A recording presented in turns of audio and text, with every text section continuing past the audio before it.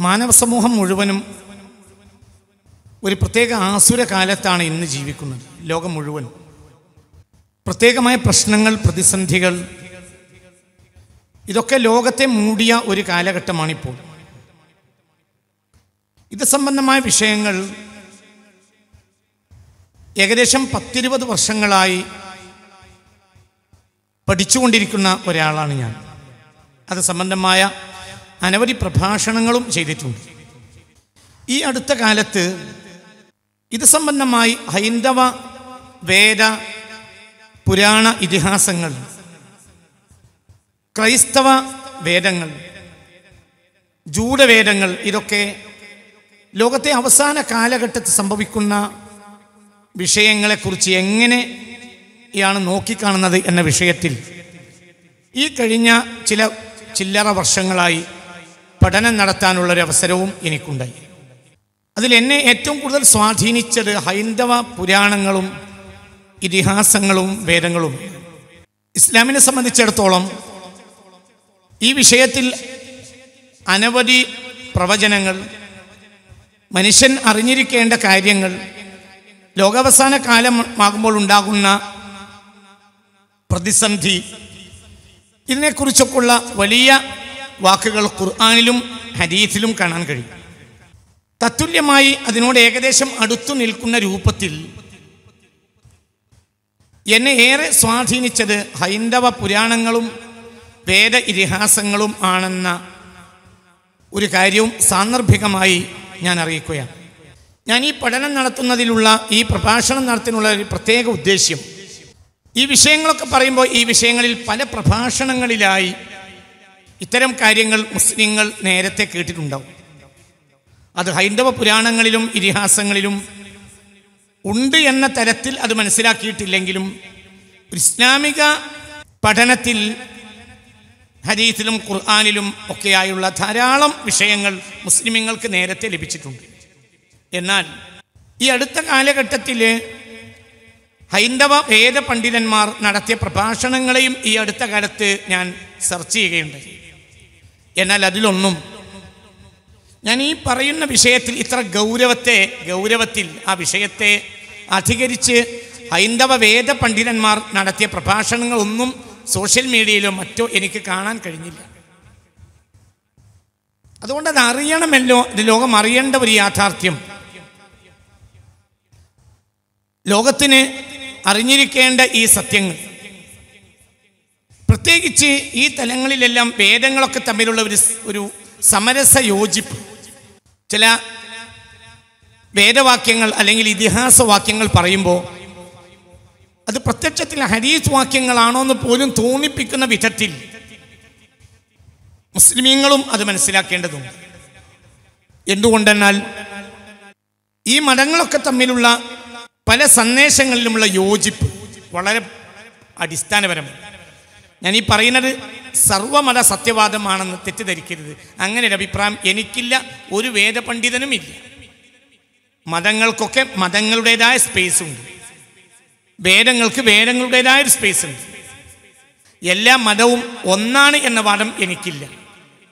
അഥവാ സർവമത സത്യവാദം എന്ന വാദം എനിക്കില്ല. വേദം പഠിച്ചവർക്ക് അത് ഉണ്ടാവുകയുമില്ല. പക്ഷെ ഓരോ മതത്തിനും ആ മതത്തിന്റെതായ ഒരു പ്രത്യേക ഫ്രെയിമുണ്ട് ആ ഫ്രെയിമിനെ മറ്റുള്ളവർ മാനിക്കേണ്ടത് അവരുടെ ബാധ്യതയാണ്. ആ വേദങ്ങളിൽ ആ സ്പേസുകളിൽ പറയുന്ന ചില സത്യങ്ങൾ സ്വന്തം മതത്തോട് യോജിക്കുമ്പോൾ അല്ലെങ്കിൽ ലോകത്തെ സത്യത്തോട് യോജിക്കുമ്പോൾ അത് ലോകത്തിന്റെ മുന്നിൽ പറയേണ്ട ഒരു ബാധ്യതയും നമുക്കുണ്ട്. ഈ നിലയിലെല്ലാമാണ് ഞാൻ സത്യത്തിൽ ഈ പ്രസംഗത്തിന് ഞാൻ മുതിരുന്നത്. പിന്നെ രണ്ടാമത്തെ ഒരു കാര്യം ഈ ഹൈന്ദവ വേദ ഗ്രന്ഥങ്ങളെയും ഇതിഹാസങ്ങളെയും പാടെ വിമർശിക്കുന്ന വിഡ്ഢികളായ നിരീശ്വരവാദികളുടെ കാലവുമാണിപ്പോൾ നിരീശ്വരവാദികളെ സംബന്ധിച്ചിടത്തോളം അവർക്ക് ഹൈന്ദവ വേദങ്ങൾ എന്നോ ക്രൈസ്തവ ഇസ്ലാമിക വേദങ്ങൾ എന്നൊന്നും വ്യത്യാസമില്ല. അവർ എല്ലാം കാടടച്ച് വെടിവെക്കുന്നവരാണ് എല്ലാ വേദങ്ങളെയും എല്ലാ മതങ്ങളെയും നിഷ്കാസനം ചെയ്യുക എന്നതാണ് നിരീശ്വരവാദികൾ ഈ അടുത്ത കാലഘട്ടത്തിൽ ചെയ്തുകൊണ്ടിരിക്കുന്ന ഒരു വികൃതി. അവരൊരു നന്മയും അംഗീകരിക്കൂല. അവരാണ് സത്യത്തിൽ പൊതുശത്രു. ഇത് മുസ്ലിങ്ങളും ഹിന്ദുക്കളും ക്രിസ്ത്യാനികളും പ്രത്യേകിച്ച് മനസ്സിലാക്കണം. ഒരു ഹിന്ദു മുസ്ലിമിന്റെയോ ഒരു മുസ്ലിം ഹിന്ദുവിന്റെയോ ഒരു ഹിന്ദു ക്രിസ്ത്യാനിയുടെയോ അല്ലെങ്കിൽ ഒരു മുസ്ലിം ക്രിസ്ത്യാനിയുടെയോ ശത്രുവല്ല. മതങ്ങൾ പരസ്പരം മാനിക്കണം. അങ്ങനെയാണ് നമ്മുടെ ഭാരതീയ സംസ്കാരം പഴയ കാലം മുതലേ വന്നിട്ടുള്ളത്. ഓരോ മതവും അതിന്റെ ഫ്രെയിമിൽ നിൽക്കും. എന്നിട്ട് മറ്റൊരു മതത്തെ മാനിക്കും. അത് ഈ അടുത്ത കാലഘട്ടത്തിൽ നിരീശ്വരവാദികളുടെ പ്രചണ്ഡമായ പ്രചാരണത്തിന് വഴിപ്പെട്ട് മതങ്ങൾ പരസ്പരം മാനിക്കുന്ന രീതിയും ഈ അടുത്ത കാലത്ത് നഷ്ടപ്പെട്ടുകൊണ്ടിരിക്കുന്നുണ്ട്. അതുണ്ടാകാൻ പാടില്ല. മതങ്ങൾ മാനിക്കണം. മതവിഭാഗങ്ങൾ പരസ്പരം മാനിക്കണം. ഒരു പൊതുശത്രുമാണ് മാത്രമാണ് മതങ്ങൾക്കുള്ളത്. അത് നിരീശ്വരവാദികളാണ്. അല്ലാതെ ഒരു ശത്രുവില്ല. മുസ്ലിമിന് ഹിന്ദു ശത്രുവല്ല ക്രിസ്ത്യാനി ശത്രുവല്ല. ആകെ ഒരു ശത്രു ഉള്ളത് നിരീശ്വരവാദി മാത്രമാണ്. അവരുടെ പ്രചണ്ഡമായ കോലാഹലങ്ങൾക്ക് വഴിപ്പെട്ടാണ് ഇപ്പോൾ നമ്മൾ ശത്രുക്കളായിക്കൊണ്ടിരിക്കുന്നത്. അത് അവരുടെ വിജയവുമാണ്. നിരീശ്വരവാദികൾക്കെതിരെ ചെലവഴിക്കേണ്ട നമ്മുടെ ഊർജം ഇപ്പോൾ നമ്മൾ നമുക്കിടയിൽ തന്നെ ചെലവഴിച്ചു കൊണ്ടിരിക്കുന്നു എന്നത് സത്യത്തിൽ നിരീശ്വരവാദികളുടെ വിജയമാണ്. മതവിശ്വാസി എന്താണെങ്കിലും ഏതെങ്കിലും ഒരു ദൈവത്തിൽ വിശ്വസിക്കും. ഒരു ധർമ്മത്തിലും വിശ്വസിക്കും. മതവിശ്വാസി. ഒരു ദൈവത്തിലോ ഒരു ധർമ്മത്തിലോ വിശ്വസിക്കാത്ത ഒരു ജനതയുണ്ടെങ്കിൽ ആ ജനതയാണ് ലോകത്തിന്റെ പൊതുശത്രു. അത് നിരീശ്വരവാദിയാണ്. അവരെയാണ് ഇന്ന് നമ്മൾ സ്വീകരിച്ചുകൊണ്ടിരിക്കുന്നത്. അത് വലിയ ദുരന്തം ലോകത്തിന് നൽകും. അതൊക്കെയാണ് ഈ പ്രസംഗം ഈ രൂപത്തിൽ കൊണ്ടുവരാനുള്ള ഒരു കാരണവും. ഞാൻ ഹൈന്ദവ വേദങ്ങളെയും പുരാണ ഇതിഹാസങ്ങളെയും ഉപനിഷത്തുകളെയും കുറിച്ച് ഒരു ഇൻട്രഡക്ഷൻ പറയാം. പലർക്കും അതൊന്നും അറിയില്ല. ഹൈന്ദവ വേദങ്ങൾ എന്നാൽ അടിസ്ഥാനപരമായി നാല് ഭാഗങ്ങളായ ഒരു വേദമാണ്. ഋഗ്വേദം യജുർവേദം സാമവേദം അഥർവവേദം എന്ന നാല് ഭാഗങ്ങളായ ഒരു വേദം. ചതുർവേദം എന്ന് ചിലപ്പോൾ പറയും പക്ഷെ ചതുർവേദമല്ല ഒരു വേദം തന്നെയാണ്. എന്നാണ് ഭൂരിപക്ഷ ഹൈന്ദവ പണ്ഡിതരുടെയും അഭിപ്രായം. ആ അഭിപ്രായമാണ് ഞാനിവിടെ പ്രാധാന്യമായി എടുത്തിട്ടുള്ളത്. ഈ നാല് വേദങ്ങളിലുമായി ഇന്ന് ഭൂമിയിൽ ഇരുപതിനായിരത്തി മുന്നൂറ്റി എഴുപത്തി ഒമ്പത് മന്ത്രങ്ങളുണ്ട്.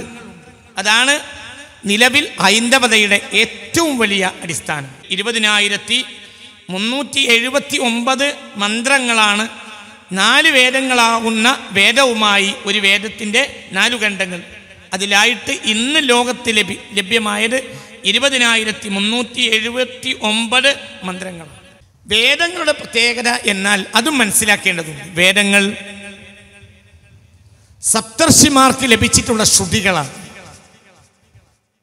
നമുക്കറിയാത്ത ഒരു കാലത്ത് സപ്തർഷിമാർ ഇസ്ലാമിക റൈറ്റ്സിൽ നമ്മൾ സപ്തർഷിമാരെ കുറിച്ച് പഠിക്കുമ്പോൾ അവർ നബിമാരാവാനാണ് കൂടുതൽ സാധ്യത. ശ്രുതി എന്നാൽ കേൾപ്പിക്കപ്പെട്ടതാണ്. അപ്പോൾ ഇസ്ലാമിക പണ്ഡിതന്മാർ ഇസ്ലാമിക വീക്ഷണത്തിൽ വഹി എന്ന് പറയും അതുകൊണ്ട് തന്നെ വേദങ്ങൾക്ക് ശ്രുതികൾ എന്നൊരു വാക്കുണ്ട്. അതായത് രചനയല്ല ശ്രുതിയാണ്. അതായത് കേൾപ്പിക്കപ്പെട്ടതാണ്.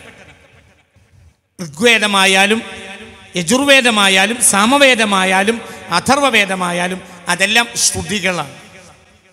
മറ്റൊന്നും ശ്രുതിയല്ല രചനകളാണ് എന്നാൽ വേദങ്ങൾ മൊത്തം ശ്രുതികളാണ് അതായത് മറ്റുള്ളവർ ഈ സപ്തർഷിമാർക്ക് ഏഴു നബിമാർ എന്ന് നാം മനസ്സിലാക്കുന്ന മുസ്ലിങ്ങൾ മനസ്സിലാക്കുന്ന ആ സ്ഥാനത്തുള്ള മഹത്തുക്കൾ വലിയ മഹർഷിമാർ. അവർക്ക് ദൈവികമായ ലഭിച്ച സന്ദേശങ്ങളാണ് സത്യത്തിൽ വേദങ്ങൾ. വേദം കഴിഞ്ഞാൽ പിന്നെ ഹൈന്ദവ സമൂഹത്തിൽ അംഗീകരിക്കപ്പെടുന്ന രണ്ടാമത്തെ കാര്യം ഉപനിഷത്തുക്കളാണ്. ഉപനിഷത്തുക്കൾ എന്നാൽ ആചാരങ്ങൾ ആരാധനകൾ മന്ത്രങ്ങൾ പോലെയുള്ള കാര്യങ്ങളിൽ രചിക്കപ്പെട്ടവയാണ് ഉപനിഷത്തുക്കൾ. എങ്ങനെയാണ് ഉപനിഷത്തുക്കളിലെ പ്രധാനപ്പെട്ട ചർച്ച? എങ്ങനെയാണ് ആത്മാവിനെ ബ്രഹ്മാവിനെ ബ്രഹ്മത്തിന് വഴിപ്പെടുത്തുക എന്നതാണ് ഹൈന്ദവ സംസ്കൃതിയെ സംബന്ധിച്ചിടത്തോളം ഏറ്റവും പ്രധാനമായ ഏകദൈവം ബ്രഹ്മാവാണ്. അടിസ്ഥാനപരമായി ഹൈന്ദവത ഏകദൈവത്തിൽ അധിഷ്ഠിതമാണ്. അത് വേറൊരു പഠനമാണ് ഞാൻ പിന്നീട് പറയാം. വളരെ ഗഹനമായ ചില വിഷയങ്ങൾ ഇത് സംബന്ധമായി ഞാൻ പഠിച്ചിട്ടുണ്ട്. റബ്ബിന്റെ വലിയ അനുഗ്രഹം കൊണ്ട്. അടിസ്ഥാനപരമായി ഏകദൈവ വിശ്വാസത്തിൽ അധിഷ്ഠിതമാണ് ഹൈന്ദവതയും. ബ്രഹ്മാവാണ് ആ ഏകദൈവം. എങ്ങനെയാണ് ആത്മാവിനെ ബ്രഹ്മത്തിന് വഴിപ്പെടുത്തുക? എന്ന വിഷയത്തിലുള്ള പഠനമാണ് സത്യത്തിൽ ഈ ഉപനിഷത്തുക്കളിൽ കാണുന്നത്. മൂന്നാമതായുള്ളത് ഇതിഹാസങ്ങളാണ്. പ്രധാന ഇതിഹാസങ്ങൾ രണ്ടാണ്. രാമായണവും മഹാഭാരതവും. രാമായണം വാൽമീകിയെ എഴുതിയതാണ്. മഹാഭാരതം വേദവ്യാസനും. കാലഗണനയിലെല്ലാം വലിയ തർക്കങ്ങൾ ഹൈന്ദവ പണ്ഡിതന്മാർക്കിടയിൽ തന്നെ ഉള്ളത് കൊണ്ട് വേദങ്ങൾ ക്രോഡീകരിച്ചതും മഹാഭാരതം എഴുതിയതും ഹൈന്ദവ സമൂഹത്തിൽ തർക്കമില്ലാത്ത ഒരു പഠനമാണ് വേദവ്യാസനം. ഏതാണ് കാലം എന്ന വിഷയത്തിൽ തർക്കമുണ്ട്. അതുകൊണ്ട് തർക്കമുള്ള കാര്യത്തിൽ ഞാൻ സംസാരിക്കുന്നില്ല. അതെന്റെ വിഷയമല്ല. അത് ഹൈന്ദവ പണ്ഡിതന്മാർ തന്നെ തീരുമാനിക്കേണ്ട കാര്യങ്ങളായതുകൊണ്ട് അത് സംബന്ധമായി ഞാൻ സംസാരിക്കുന്നില്ല. ഇനി നമുക്ക് ഇതിഹാസങ്ങളെ പറ്റി പറയാം. ഞാൻ ഇൻട്രോ പറയാണ്. നേരെ പ്രഭാഷണത്തിലേക്ക് പ്രവേശിക്കുന്നതിന് മുമ്പ്. ഹൈന്ദവ വിശ്വാസപ്രകാരം നാല് യുഗങ്ങളാണ്. സത്യയുഗം ത്രേതായുഗം ദ്വാപരയുഗം കലിയുഗം. ഇന്ന് നാം കലിയുഗത്തിലാണ്. ഹൈന്ദവ വീക്ഷണ പ്രകാരം ഇത് കലിയുഗമാണ്. കലിയുഗം എന്ന് പറഞ്ഞാൽ ലോകാവസാനത്തിന്റെ യുഗം എന്നാണ്. ദ്വാപര യുഗത്തിലാണ് മഹാഭാരതം നടക്കുന്നത്. ഹൈന്ദവ വിശ്വാസപ്രകാരം മഹാഭാരത യുദ്ധങ്ങളും കാര്യങ്ങളും ഒക്കെ നടക്കുന്നത് ദ്വാപര യുഗത്തിലാണ്. ദ്വാപര യുഗം കഴിയുന്നത് കൃഷ്ണന്റെ മരണത്തോടു കൂടിയാണ്.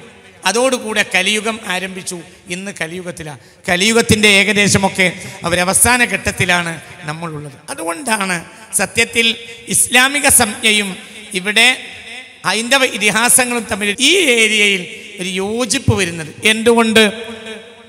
ഇസ്ലാമിക വിശ്വാസപ്രകാരം ലോകത്തിന്റെ ഒരു അവസാന കാലഘട്ടത്തിലാണ്. അതിന്റെ അനുഭവങ്ങൾ ഇന്ന് നമ്മൾ അനുഭവിച്ചു കൊണ്ടിരിക്കുന്നും ഉണ്ട്. മഹാഭാരതം ഹൈന്ദവ വിശ്വാസപ്രകാരം നടക്കുന്നത് ദ്വാപര യുഗത്തിലാണ്. ആ ദ്വാപര യുഗത്തിൽ നടന്ന മഹാഭാരത സംഭവങ്ങളെ പിന്നീട് വ്യാസൻ ക്രോഡീകരിക്കുകയാണ്.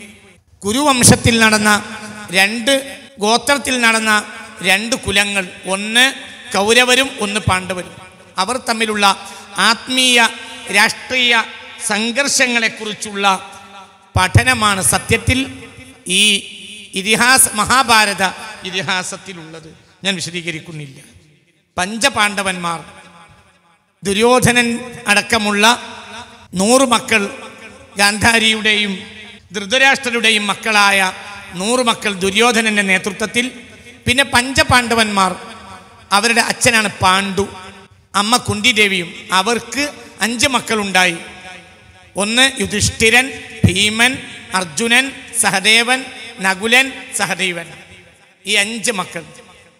ഈ അഞ്ചു മക്കളിൽ രണ്ട് മക്കൾ കുന്തിദേവിയുടെ മക്കളല്ല മാധുരി എന്ന ഒരു രണ്ടാമത്തെ ഒരു ഭാര്യ പാണ്ഡുവിനുണ്ടായിരുന്നു അവരുടെ മക്കൾ. ഏതായാലും ഇതാണ് പഞ്ചപാണ്ഡവന്മാർ. ഈ പാണ്ഡവന്മാരും കൗരവന്മാരും തമ്മിൽ നടന്നിട്ടുള്ള സംഭവ കഥകളെന്ന് ഹൈന്ദവ സമൂഹം വിശ്വസിക്കുന്നതാണ് സത്യത്തിൽ മഹാഭാരതത്തിൽ ഇതിവൃത്തവും ചർച്ചയും ഞാനത് വിശദീകരിക്കുന്നില്ല. ഞാൻ ഇന്നിവിടെ ചർച്ചയ്ക്ക് കൊണ്ടുവരുന്നത് മഹാഭാരതത്തിലെ മൂന്നാം പർവമാണ്. മഹാഭാരതം പതിനെട്ട് പർവങ്ങളാണ്. ആദിപർവം സഭാപർവം വനപർവം വിരാടപർവം ഉദ്യോഗപർവം ഭീഷ്മപർവം ദ്രോണപർവം കർണപർവം ശല്യപർവം സൗപ്തിക പർവം സ്ത്രീപർവം ശാന്തിപർവം അനുശാസനപർവം പർവം മൗസല പർവം മഹാപ്രസ്ഥാനിക പർവം സ്വർഗാരോഹണ പർവം. അങ്ങനെ പതിനെട്ട് പർവങ്ങളാണ് മഹാഭാരതം. അതിൽ മൂന്നാമത്തെ പർവമാണ് വനപർവം അല്ലെങ്കിൽ ആരണ്യപർവം. അതായത് സഭാപർവം കഴിഞ്ഞ് പാണ്ഡവന്മാർ വനവാസത്തിന് പോകുന്ന കാലത്തെ ചർച്ചയാണ് സത്യത്തിൽ ആരണ്യപർവത്തിലുള്ളത് ഇതിലൊരു സംഭവം നടന്നു. എന്താ സംഭവം? വനവാസ കാലഘട്ടത്തിൽ അവർക്ക് പ്രത്യേക പണിയൊന്നുമില്ല. അപ്പോൾ അവർ കാട്ടിൽ തപസ്സിരിക്കുന്ന വലിയ വലിയ മുനിമാരെയും കർമ്മയോഗികളെയും ഒക്കെ കണ്ടെത്താനുള്ള അവസരം ഉപയോഗപ്പെടുത്തുക. ആ കൂട്ടത്തിൽ പാണ്ഡവന്മാരുടെ കൂട്ടത്തിലെ നേതാവായ യുധിഷ്ഠിരൻ മൂത്ത ആളായ യുധിഷ്ഠിരൻ വലിയ മുനിയായ മാർക്കണ്ഡേയ മുനിയെ കണ്ടെത്തുന്നപ്പോൾ അദ്ദേഹത്തോട് ചോദിക്കാണ് ദ്വാപര യുഗം കഴിഞ്ഞാൽ കലിയുഗമല്ലേ? കലിയുഗത്തിന്റെ അവസാനം എന്താണ് സംഭവിക്കുക? അതായത് ലോകാവസാന കാലത്തിന്റെ സ്വഭാവം എന്തായിരുന്നു എന്ന് പാണ്ഡവന്മാരിലെ മുട്ട ആളായ യുധിഷ്ഠിരൻ മാർക്കണ്ഡേയ മുനിയോട് ചോദിക്കുമ്പോൾ മാർക്കണ്ഡേയ മുനി പറയുന്ന മറുപടിയാണ് വനപർവത്തിലുള്ളത്. ഇനി വനപർവം തന്നെ മുന്നൂറ്റി പതിനഞ്ച് അധ്യായങ്ങളാണ്. അതിൽ നൂറ്റി എൺപത്തി എട്ടാമത്തെ അധ്യായമാണ് മാർക്കണ്ഡേയ സമസ്യ. അതാണ് ഇന്നത്തെ നമ്മുടെ ചർച്ച. മഹാഭാരതത്തിലെ മൂന്നാം പർവമായ ആരണ്യപർവത്തിലെ മുന്നൂറ്റി പതിനഞ്ച് അധ്യായങ്ങളിലെ നൂറ്റി എൺപത്തി എട്ടാമത്തെ അധ്യായമാണ് ഇൻ മാർക്കണ്ഡേയ സമസ്യ. അതിലാണ് ഇന്ന് നമ്മൾ അതാണ് ക്രിയാമത്ത് നാളിനെ കുറിച്ച് പറയുന്നത്. ഇത് നമ്മൾ പഠിച്ചാൽ വളരെ യാഥാർത്ഥ്യം വളരെ വലിയ ജ്ഞാനങ്ങൾ ഇതിൽ നിന്നൊക്കെ നമുക്ക് ലഭിക്കാനുള്ള സാധ്യതയുണ്ട്. മാർക്കണ്ഡേയ മുനി ഹൈന്ദവ വിശ്വാസപ്രകാരം മാർക്കണ്ഡേയ മുനി ഒരുപാട് ആയിരക്കണക്കായ വർഷങ്ങൾ ജീവിച്ച ഒരാളാണ്. അതായത് നമ്മൾ സയ്യിദ്ന ഹൊളർ അലഹി സ്വലാത്തു വസ്സലാമിനെ കുറിച്ച് മനസ്സിലാക്കുന്നത് പോലെയുള്ള ഒരു ചിരഞ്ജീവിയാണ് ഹൈന്ദവ വിശ്വാസപ്രകാരം മാർക്കണ്ഡേയൻ. അദ്ദേഹത്തിന് കഴിഞ്ഞ കാലഘട്ടത്തിൽ നടന്നതറിയും ഇനി വരാൻ പോകുന്ന കാലഘട്ടത്തെക്കുറിച്ചുള്ള കാര്യങ്ങൾ അറിയും. അതാണ് മാർക്കണ്ഡേയന്റെ പ്രത്യേകത. അതുകൊണ്ടാണ് ഈ ഒരു അധ്യായത്തിന് മാർക്കണ്ഡേയ സമസ്യ എന്ന് പേര് വരാനുള്ള കാരണവും അങ്ങനെ യുധിഷ്ഠിരൻ ചോദിക്കാണ് എന്താണ്? ലോകാവസാന കാലത്ത് എന്താണ് സംഭവിക്കുക? ഹേ മുനി മഹർഷെ അതൊന്ന് വിശദീകരിച്ചു തരൂ. അപ്പോൾ അദ്ദേഹം വിശദീകരിക്കുകയാണ് കാര്യങ്ങൾ. എന്താ യുധിഷ്ഠിരന്റെ ചോദ്യം? യുധിഷ്ഠിരന്റെ ചോദ്യം മഹാഭാരതത്തിൽ ആരണ്യപർവത്തിൽ ഇങ്ങനെ കാണാം. അസ്മിൻ കലിയുഗേ ത്വാസി പൂനാ കൗതുകം മമ. ലോകാവസാന കാലമാകുന്ന കലിയുഗം അവസാനിക്കുമ്പോൾ എന്താണ് സംഭവിക്കുക അത് കേൾക്കാൻ എനിക്ക് വലിയ താല്പര്യമുണ്ട് അതൊന്ന് പറഞ്ഞാലും. സമാകുലേഷു ധർമ്മേഷു കിന്നുശേഷം ഭവിഷ്യതി. അന്നത്തെ സാമൂഹിക കോലാഹലങ്ങളിൽ ഇന്നത്തെ ഏതെങ്കിലും ഒരു മതം ബാക്കി ഉണ്ടാകുമോ? അവരൊക്കെ വലിയ മതവാദികളാണ്. മതനിഷ്ഠരാണ് വലിയ ധർമ്മനിഷ്ഠരാണ് പഞ്ചപാണ്ഡവന്മാരിലെ ഏറ്റവും ധർമ്മനിഷ്ഠനാണ് യുധിഷ്ഠിരൻ. അതുകൊണ്ട് അദ്ദേഹത്തിന് ധർമ്മപുത്രർ എന്ന് ധർമ്മരാജൻ എന്നും ധർമ്മപുത്രൻ എന്നും പേരുണ്ട്. അവസാനം മഹാഭാരതം അവസാനിക്കുമ്പോൾ പഞ്ചപാണ്ഡവന്മാർ സ്വർഗാരോഹണത്തിന് പോവുക. അതിൽ നാലാളും വഴിയിൽ മരിക്കും. സ്വർഗത്തിലെത്തുന്നത് യുധിഷ്ഠിരൻ മാത്രമാണ്. ദ്രൗപദി മരിക്കും മറ്റു നാലാളും മരിക്കും. പിന്നെ ആകെ സ്വർഗത്തിലെത്തുന്നത് ഒരാളാണ് അതാരാ യുധിഷ്ഠിരൻ?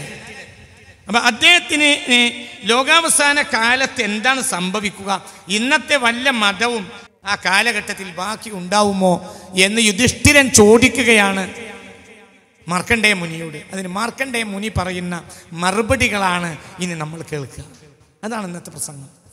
അദ്ദേഹത്തിന് മറുപടി തുടങ്ങുകയാണ്. ഞാൻ തിരഞ്ഞെടുത്ത ശ്ലോകങ്ങൾ മാത്രമാണ് അതിൽ നിന്ന് എടുക്കുന്നത് ഒരുപാട് ശ്ലോകങ്ങൾ. അതിൽ വളരെ തിരഞ്ഞെടുത്ത ശ്ലോകങ്ങൾ. എന്തുകൊണ്ട്?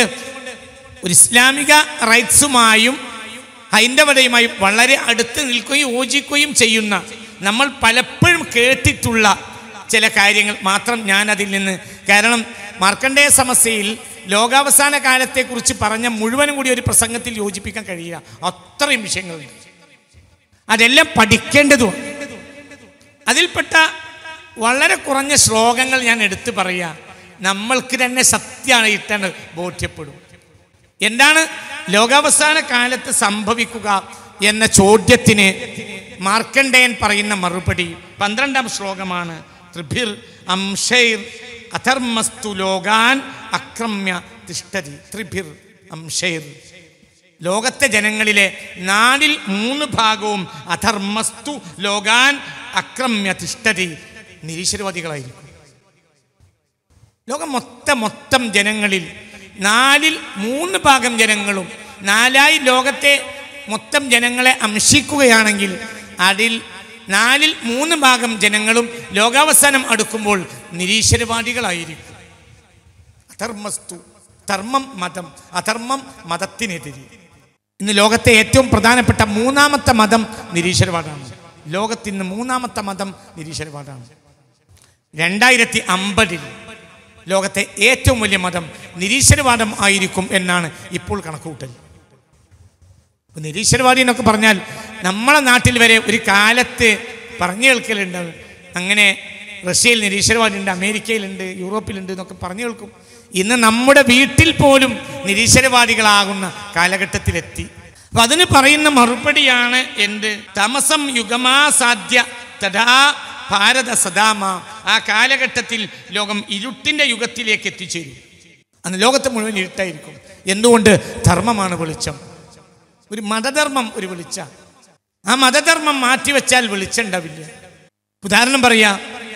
എ ഡി പതിനാറാം നൂറ്റാണ്ടിൽ ജനിച്ച് പതിനേഴാം നൂറ്റാണ്ടിൽ മരിച്ച ആളാണ് ഷേക്സ്പിയർ.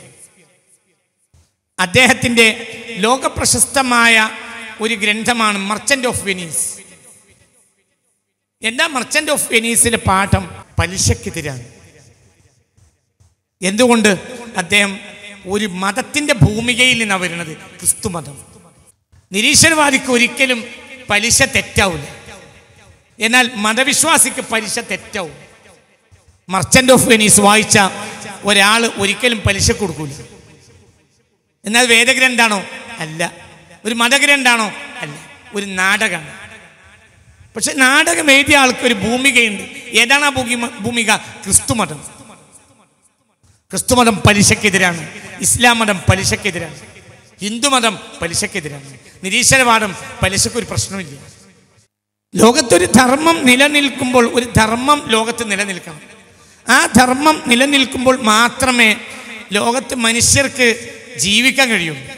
അതാ പറഞ്ഞ ലോകത്ത് അവസാന കാലമാകുമ്പോഴത്തിന് ലോകത്തിന്റെ നാലിൽ മൂന്ന് ഭാഗം ആളുകളും നിരീശ്വരവാദികളും. അത് അടുത്താവുകയും ചെയ്യും. ഞാൻ ഈ വിഷയത്തിൽ വിഷ്ണു പുരാണം വായിച്ചിട്ടുണ്ട് ഈ അടുത്ത കാലത്ത്. വിഷ്ണു പുരാണത്തിൽ പറയുന്നത് മരിക്കാൻ കിടക്കുന്ന ഒരു മനുഷ്യൻ ലോകാവസാനം അടുത്താൽ മരിക്കാൻ കിടക്കുന്ന ഒരു മനുഷ്യൻ ദൈവമേന്ന് പറഞ്ഞാൽ എന്തെങ്കിലും രക്ഷയുണ്ടാകുമെന്ന് തോന്നിയാലും അങ്ങനെ പറയൂല. എന്തുകൊണ്ട്? അയാൾ പരിസരവാസികൾ അത് പറയുന്നതിനെതിരെയിരിക്കും. ദൈവമേന്ന് പറയാതെയാണ് ഭൂരിപക്ഷം ജനങ്ങളും മരിക്കുക. എന്ന് വിഷ്ണു പുരാണത്തിനുണ്ട് എന്തുകൊണ്ട്? അത്ര വലിയ ആധിക്യമായിരിക്കും ലോകാവസാന കാലത്ത് നിരീശ്വരവാദത്തിന് ഉണ്ടാവുക. ആ ഒരു കാലഘട്ടം സത്യത്തിൽ നമ്മുടെ മുന്നിൽ എത്തിക്കഴിഞ്ഞു. വളരെ നമ്മൾ ഇതിൽ നിന്നൊക്കെ പാഠം ഉൾക്കൊള്ളണം ചിന്തിക്കണം. ഇത് പറയാൻ വേറെ ഒരു കാരണമുണ്ട്. എന്തുകൊണ്ട്? ഇന്ന് ലോകത്ത് വേദം പഠിക്കാത്ത മതഗ്രന്ഥങ്ങൾ വായിക്കാത്ത ലോകത്തെ ഏറ്റവും പ്രധാനപ്പെട്ട വിഭാഗം ഹിന്ദുക്കളാണ്. ക്രിസ്ത്യാനി സാധാരണഗതിയിൽ വേദവുമായും മതഗ്രന്ഥങ്ങളുമായും എന്തെങ്കിലും ഒരു ബന്ധമുണ്ടാവും. ജൂതനുണ്ടാവും മുസ്ലിമിനുണ്ടാവും. സ്വന്തം വേദഗ്രന്ഥമായോ മതഗ്രന്ഥങ്ങളുമായോ യാതൊരു ബന്ധവുമില്ലാത്തവരാണ് നമ്മുടെ ഹൈന്ദവ സഹോദരങ്ങൾ എന്ന് ഞാൻ പറയുമ്പോൾ പറയാനുള്ള ഒരു ഒരു പഠനം നടത്തുന്ന ഒരാൾ എന്ന നിലയിൽ അത് പറയാനുള്ള സ്വാതന്ത്ര്യം ഞാൻ എടുക്കുകയാണ്. അതാണ് നിലവിൽ ഹിന്ദുമത സമൂഹത്തിന് വന്നിട്ടുള്ള ഏറ്റവും വലിയ ദുരന്തവും. എന്തുകൊണ്ട് ആ മതഗ്രന്ഥങ്ങൾ വായിക്കാൻ അവർ തയ്യാറാവുന്നില്ല?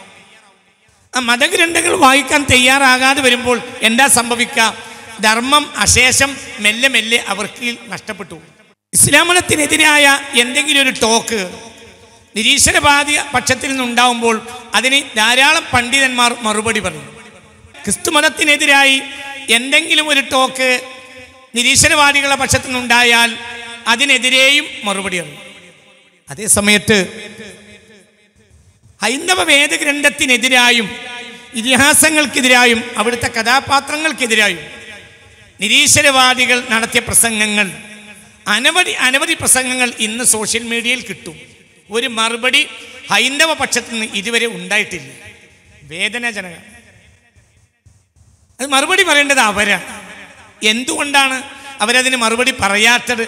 അവരെ സംബന്ധിച്ചിടത്തോളം വേദവും ഇതിഹാസവും ഒരു വിഷയമല്ലാതെ ആയിപ്പോയതാണ് കാ- കാരണം ഒരൊറ്റ ഉദാഹരണം പറയാം. മഹാഭാരതം അംഗീകരിക്കാത്തൊരു ഹിന്ദു ഉണ്ടാവില്ല. അതിന്റെ സീരിയൽ കാണും. അതിന് അതൊക്കെ അവർക്കിടയിൽ സർവസാധാരണയാണ് അത് ഏറ്റവും കൂടുതൽ അവരുടെ ഒരു ഹൃദയബന്ധമുള്ള ഒരു ഗ്രന്ഥമാണ് സത്യത്തിൽ മഹാഭാരതം. ഈ മഹാഭാരതത്തെക്കുറിച്ച് കേരളത്തിലെ നിരീശ്വരവാദികളുടെ നേതാവായ സി രവിചന്ദ്രൻ ഈ അടുത്ത കാലഘട്ടത്തിൽ നടത്തിയ ചില പ്രസംഗങ്ങൾ. പതിനായിരക്കണക്കായ ആളുകൾ ആ പ്രസംഗം കേട്ടിട്ടുണ്ട്. ആ പ്രസംഗത്തിന് ഒരു മറുപടി ഇന്ന് വരെ ഹൈന്ദവ പക്ഷത്ത് നിന്ന് ഉണ്ടായിട്ടില്ല.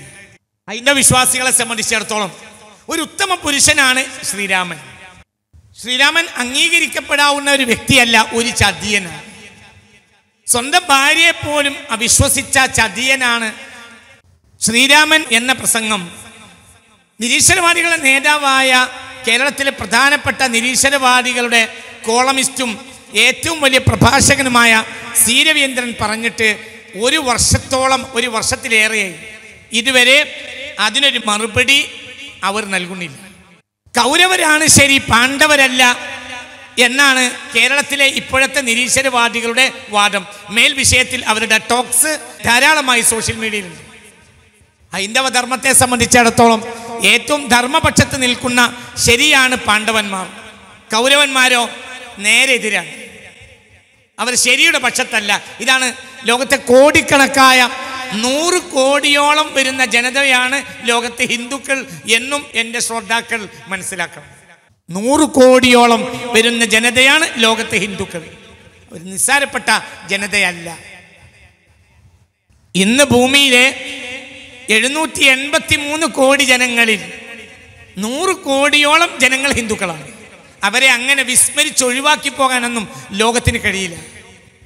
എന്നാൽ ഈ നൂറ് കോടി ജനങ്ങളും അംഗീകരിക്കുന്ന ഗ്രന്ഥമാണ് മഹാഭാരതം. മഹാഭാരതം പാണ്ഡവന്മാർ സത്യവാന്മാരാണ് എന്നതാണ് അതിന്റെ ഇതിവൃത്തം. എന്നാൽ നിരീശ്വരവാദികളുടെ മുഴുവനും ടോക്സ് പൗണ്ടവന്മാർ ശരിയല്ല കൗരവന്മാരാണ് ശരി എന്ന്. എന്താ കാരണം? ഇതിന് ഇതൊരു ഇസ്ലാമിക ഗ്രന്ഥത്തിനോ അല്ലെങ്കിൽ ഒരു ഇസ്ലാമിക ചരിത്ര പുരുഷനോ എതിരാണെങ്കിൽ ധാരാളം മറുപടികൾ ഇതിനകം അതിന് വന്നിട്ടുണ്ടാവും. പക്ഷേ സീരവേന്ദ്രന് ഒരു മറുപടി പോലും ഈ വിഷയത്തിൽ ഇല്ല. എന്തുകൊണ്ട്? ഏത് നിരീശ്വരവാദിക്കും പിന്തുണ കൊടുക്കാവുന്ന ഒരു രീതിയിലേക്ക് ഹൈന്ദവ സമൂഹം മാറിപ്പോയോ എന്നതാണ് ഏറ്റവും ദുഃഖകരമായ സാഹചര്യം. ഇത് വലിയ ദുരന്തമാണ് സത്യത്തിൽ. ഇത് വല്ലാത്തൊരു ദുരന്തമാണ്. ഇതെല്ലാ മതങ്ങളെയും ബാധിക്കുന്ന ഒരു ദുരന്തമാണ്. എന്തുകൊണ്ട്? പുതാൻ പുണ്യപ്രവാചകനെതിരെ സല്ലല്ലാഹു അലൈഹി വസല്ലം. ധാരാളം നിരീശ്വരവാദികളുടെ ടോക്സുകൾ വരും. യേശുവിനെതിരെ. ഈ അടുത്ത കാലഘട്ടത്തിൽ ലോകത്തെ ഏറ്റവും വിമർശിക്കപ്പെട്ട ഒരു വ്യക്തി യേശു ക്രിസ്തുവാണ് മുഹമ്മദ് നബിയക്കാണ് സല്ലല്ലാഹു അലൈഹി വളരെ ശ്രദ്ധിക്കണം. ഈ ആധുനിക കാലത്ത് ലോകത്തെ ഏറ്റവും വിമർശിക്കപ്പെട്ട ആൾ യേശു ക്രിസ്തുവാണ് വ്യഭിചാരിയാണെന്ന് വരെ ഉണ്ട്. പുസ്തകങ്ങളും. മഹാനായ സയ്യിദുന ഈസ അലഹി സ്വലാത്തു വസ്സലാം. പരിശുദ്ധ ഖുർആൻ പറഞ്ഞ ഏറ്റവും മഹാൻ ബൈബിൾ ലോകത്തിന് മുന്നിൽ സമർപ്പിക്കപ്പെട്ട ദൈവികമായ വേദഗ്രന്ഥമായ ഇഞ്ചിയിൽ അഥവാ ബൈബിൾ ജഗന്നിയന്താവായ തമ്പുരാനിൽ നേരിട്ട് ലഭിച്ച ആളാണ് സയ്യിദ് ഈസ. ക്രിസ്ത്യാനികൾ പറയുന്ന യേശു ക്രിസ്തു സയ്യിദുന ഈസ അലൈഹിസ്സലാം വ്യഭിചാരിയാണെന്നും മോശപ്പെട്ട ആളാണെന്നുമുള്ള അനവധി അനവധി ഗ്രന്ഥങ്ങൾ ഇന്ന് ലോകത്തുണ്ട്. അതിനൊക്കെ ക്രിസ്ത്യാനികൾ മറുപടി പറയുന്നുണ്ട്. അതിനും ചില അപര്യാപ്തകളുണ്ട്. പിന്നീട് പറയാം. അതിന് അതിന്റെതായ ചില പ്രശ്നങ്ങളുണ്ട്. അത് ഞാൻ പിന്നീട് പറയും. പക്ഷേ ഒരു കാര്യം സത്യമാണ്.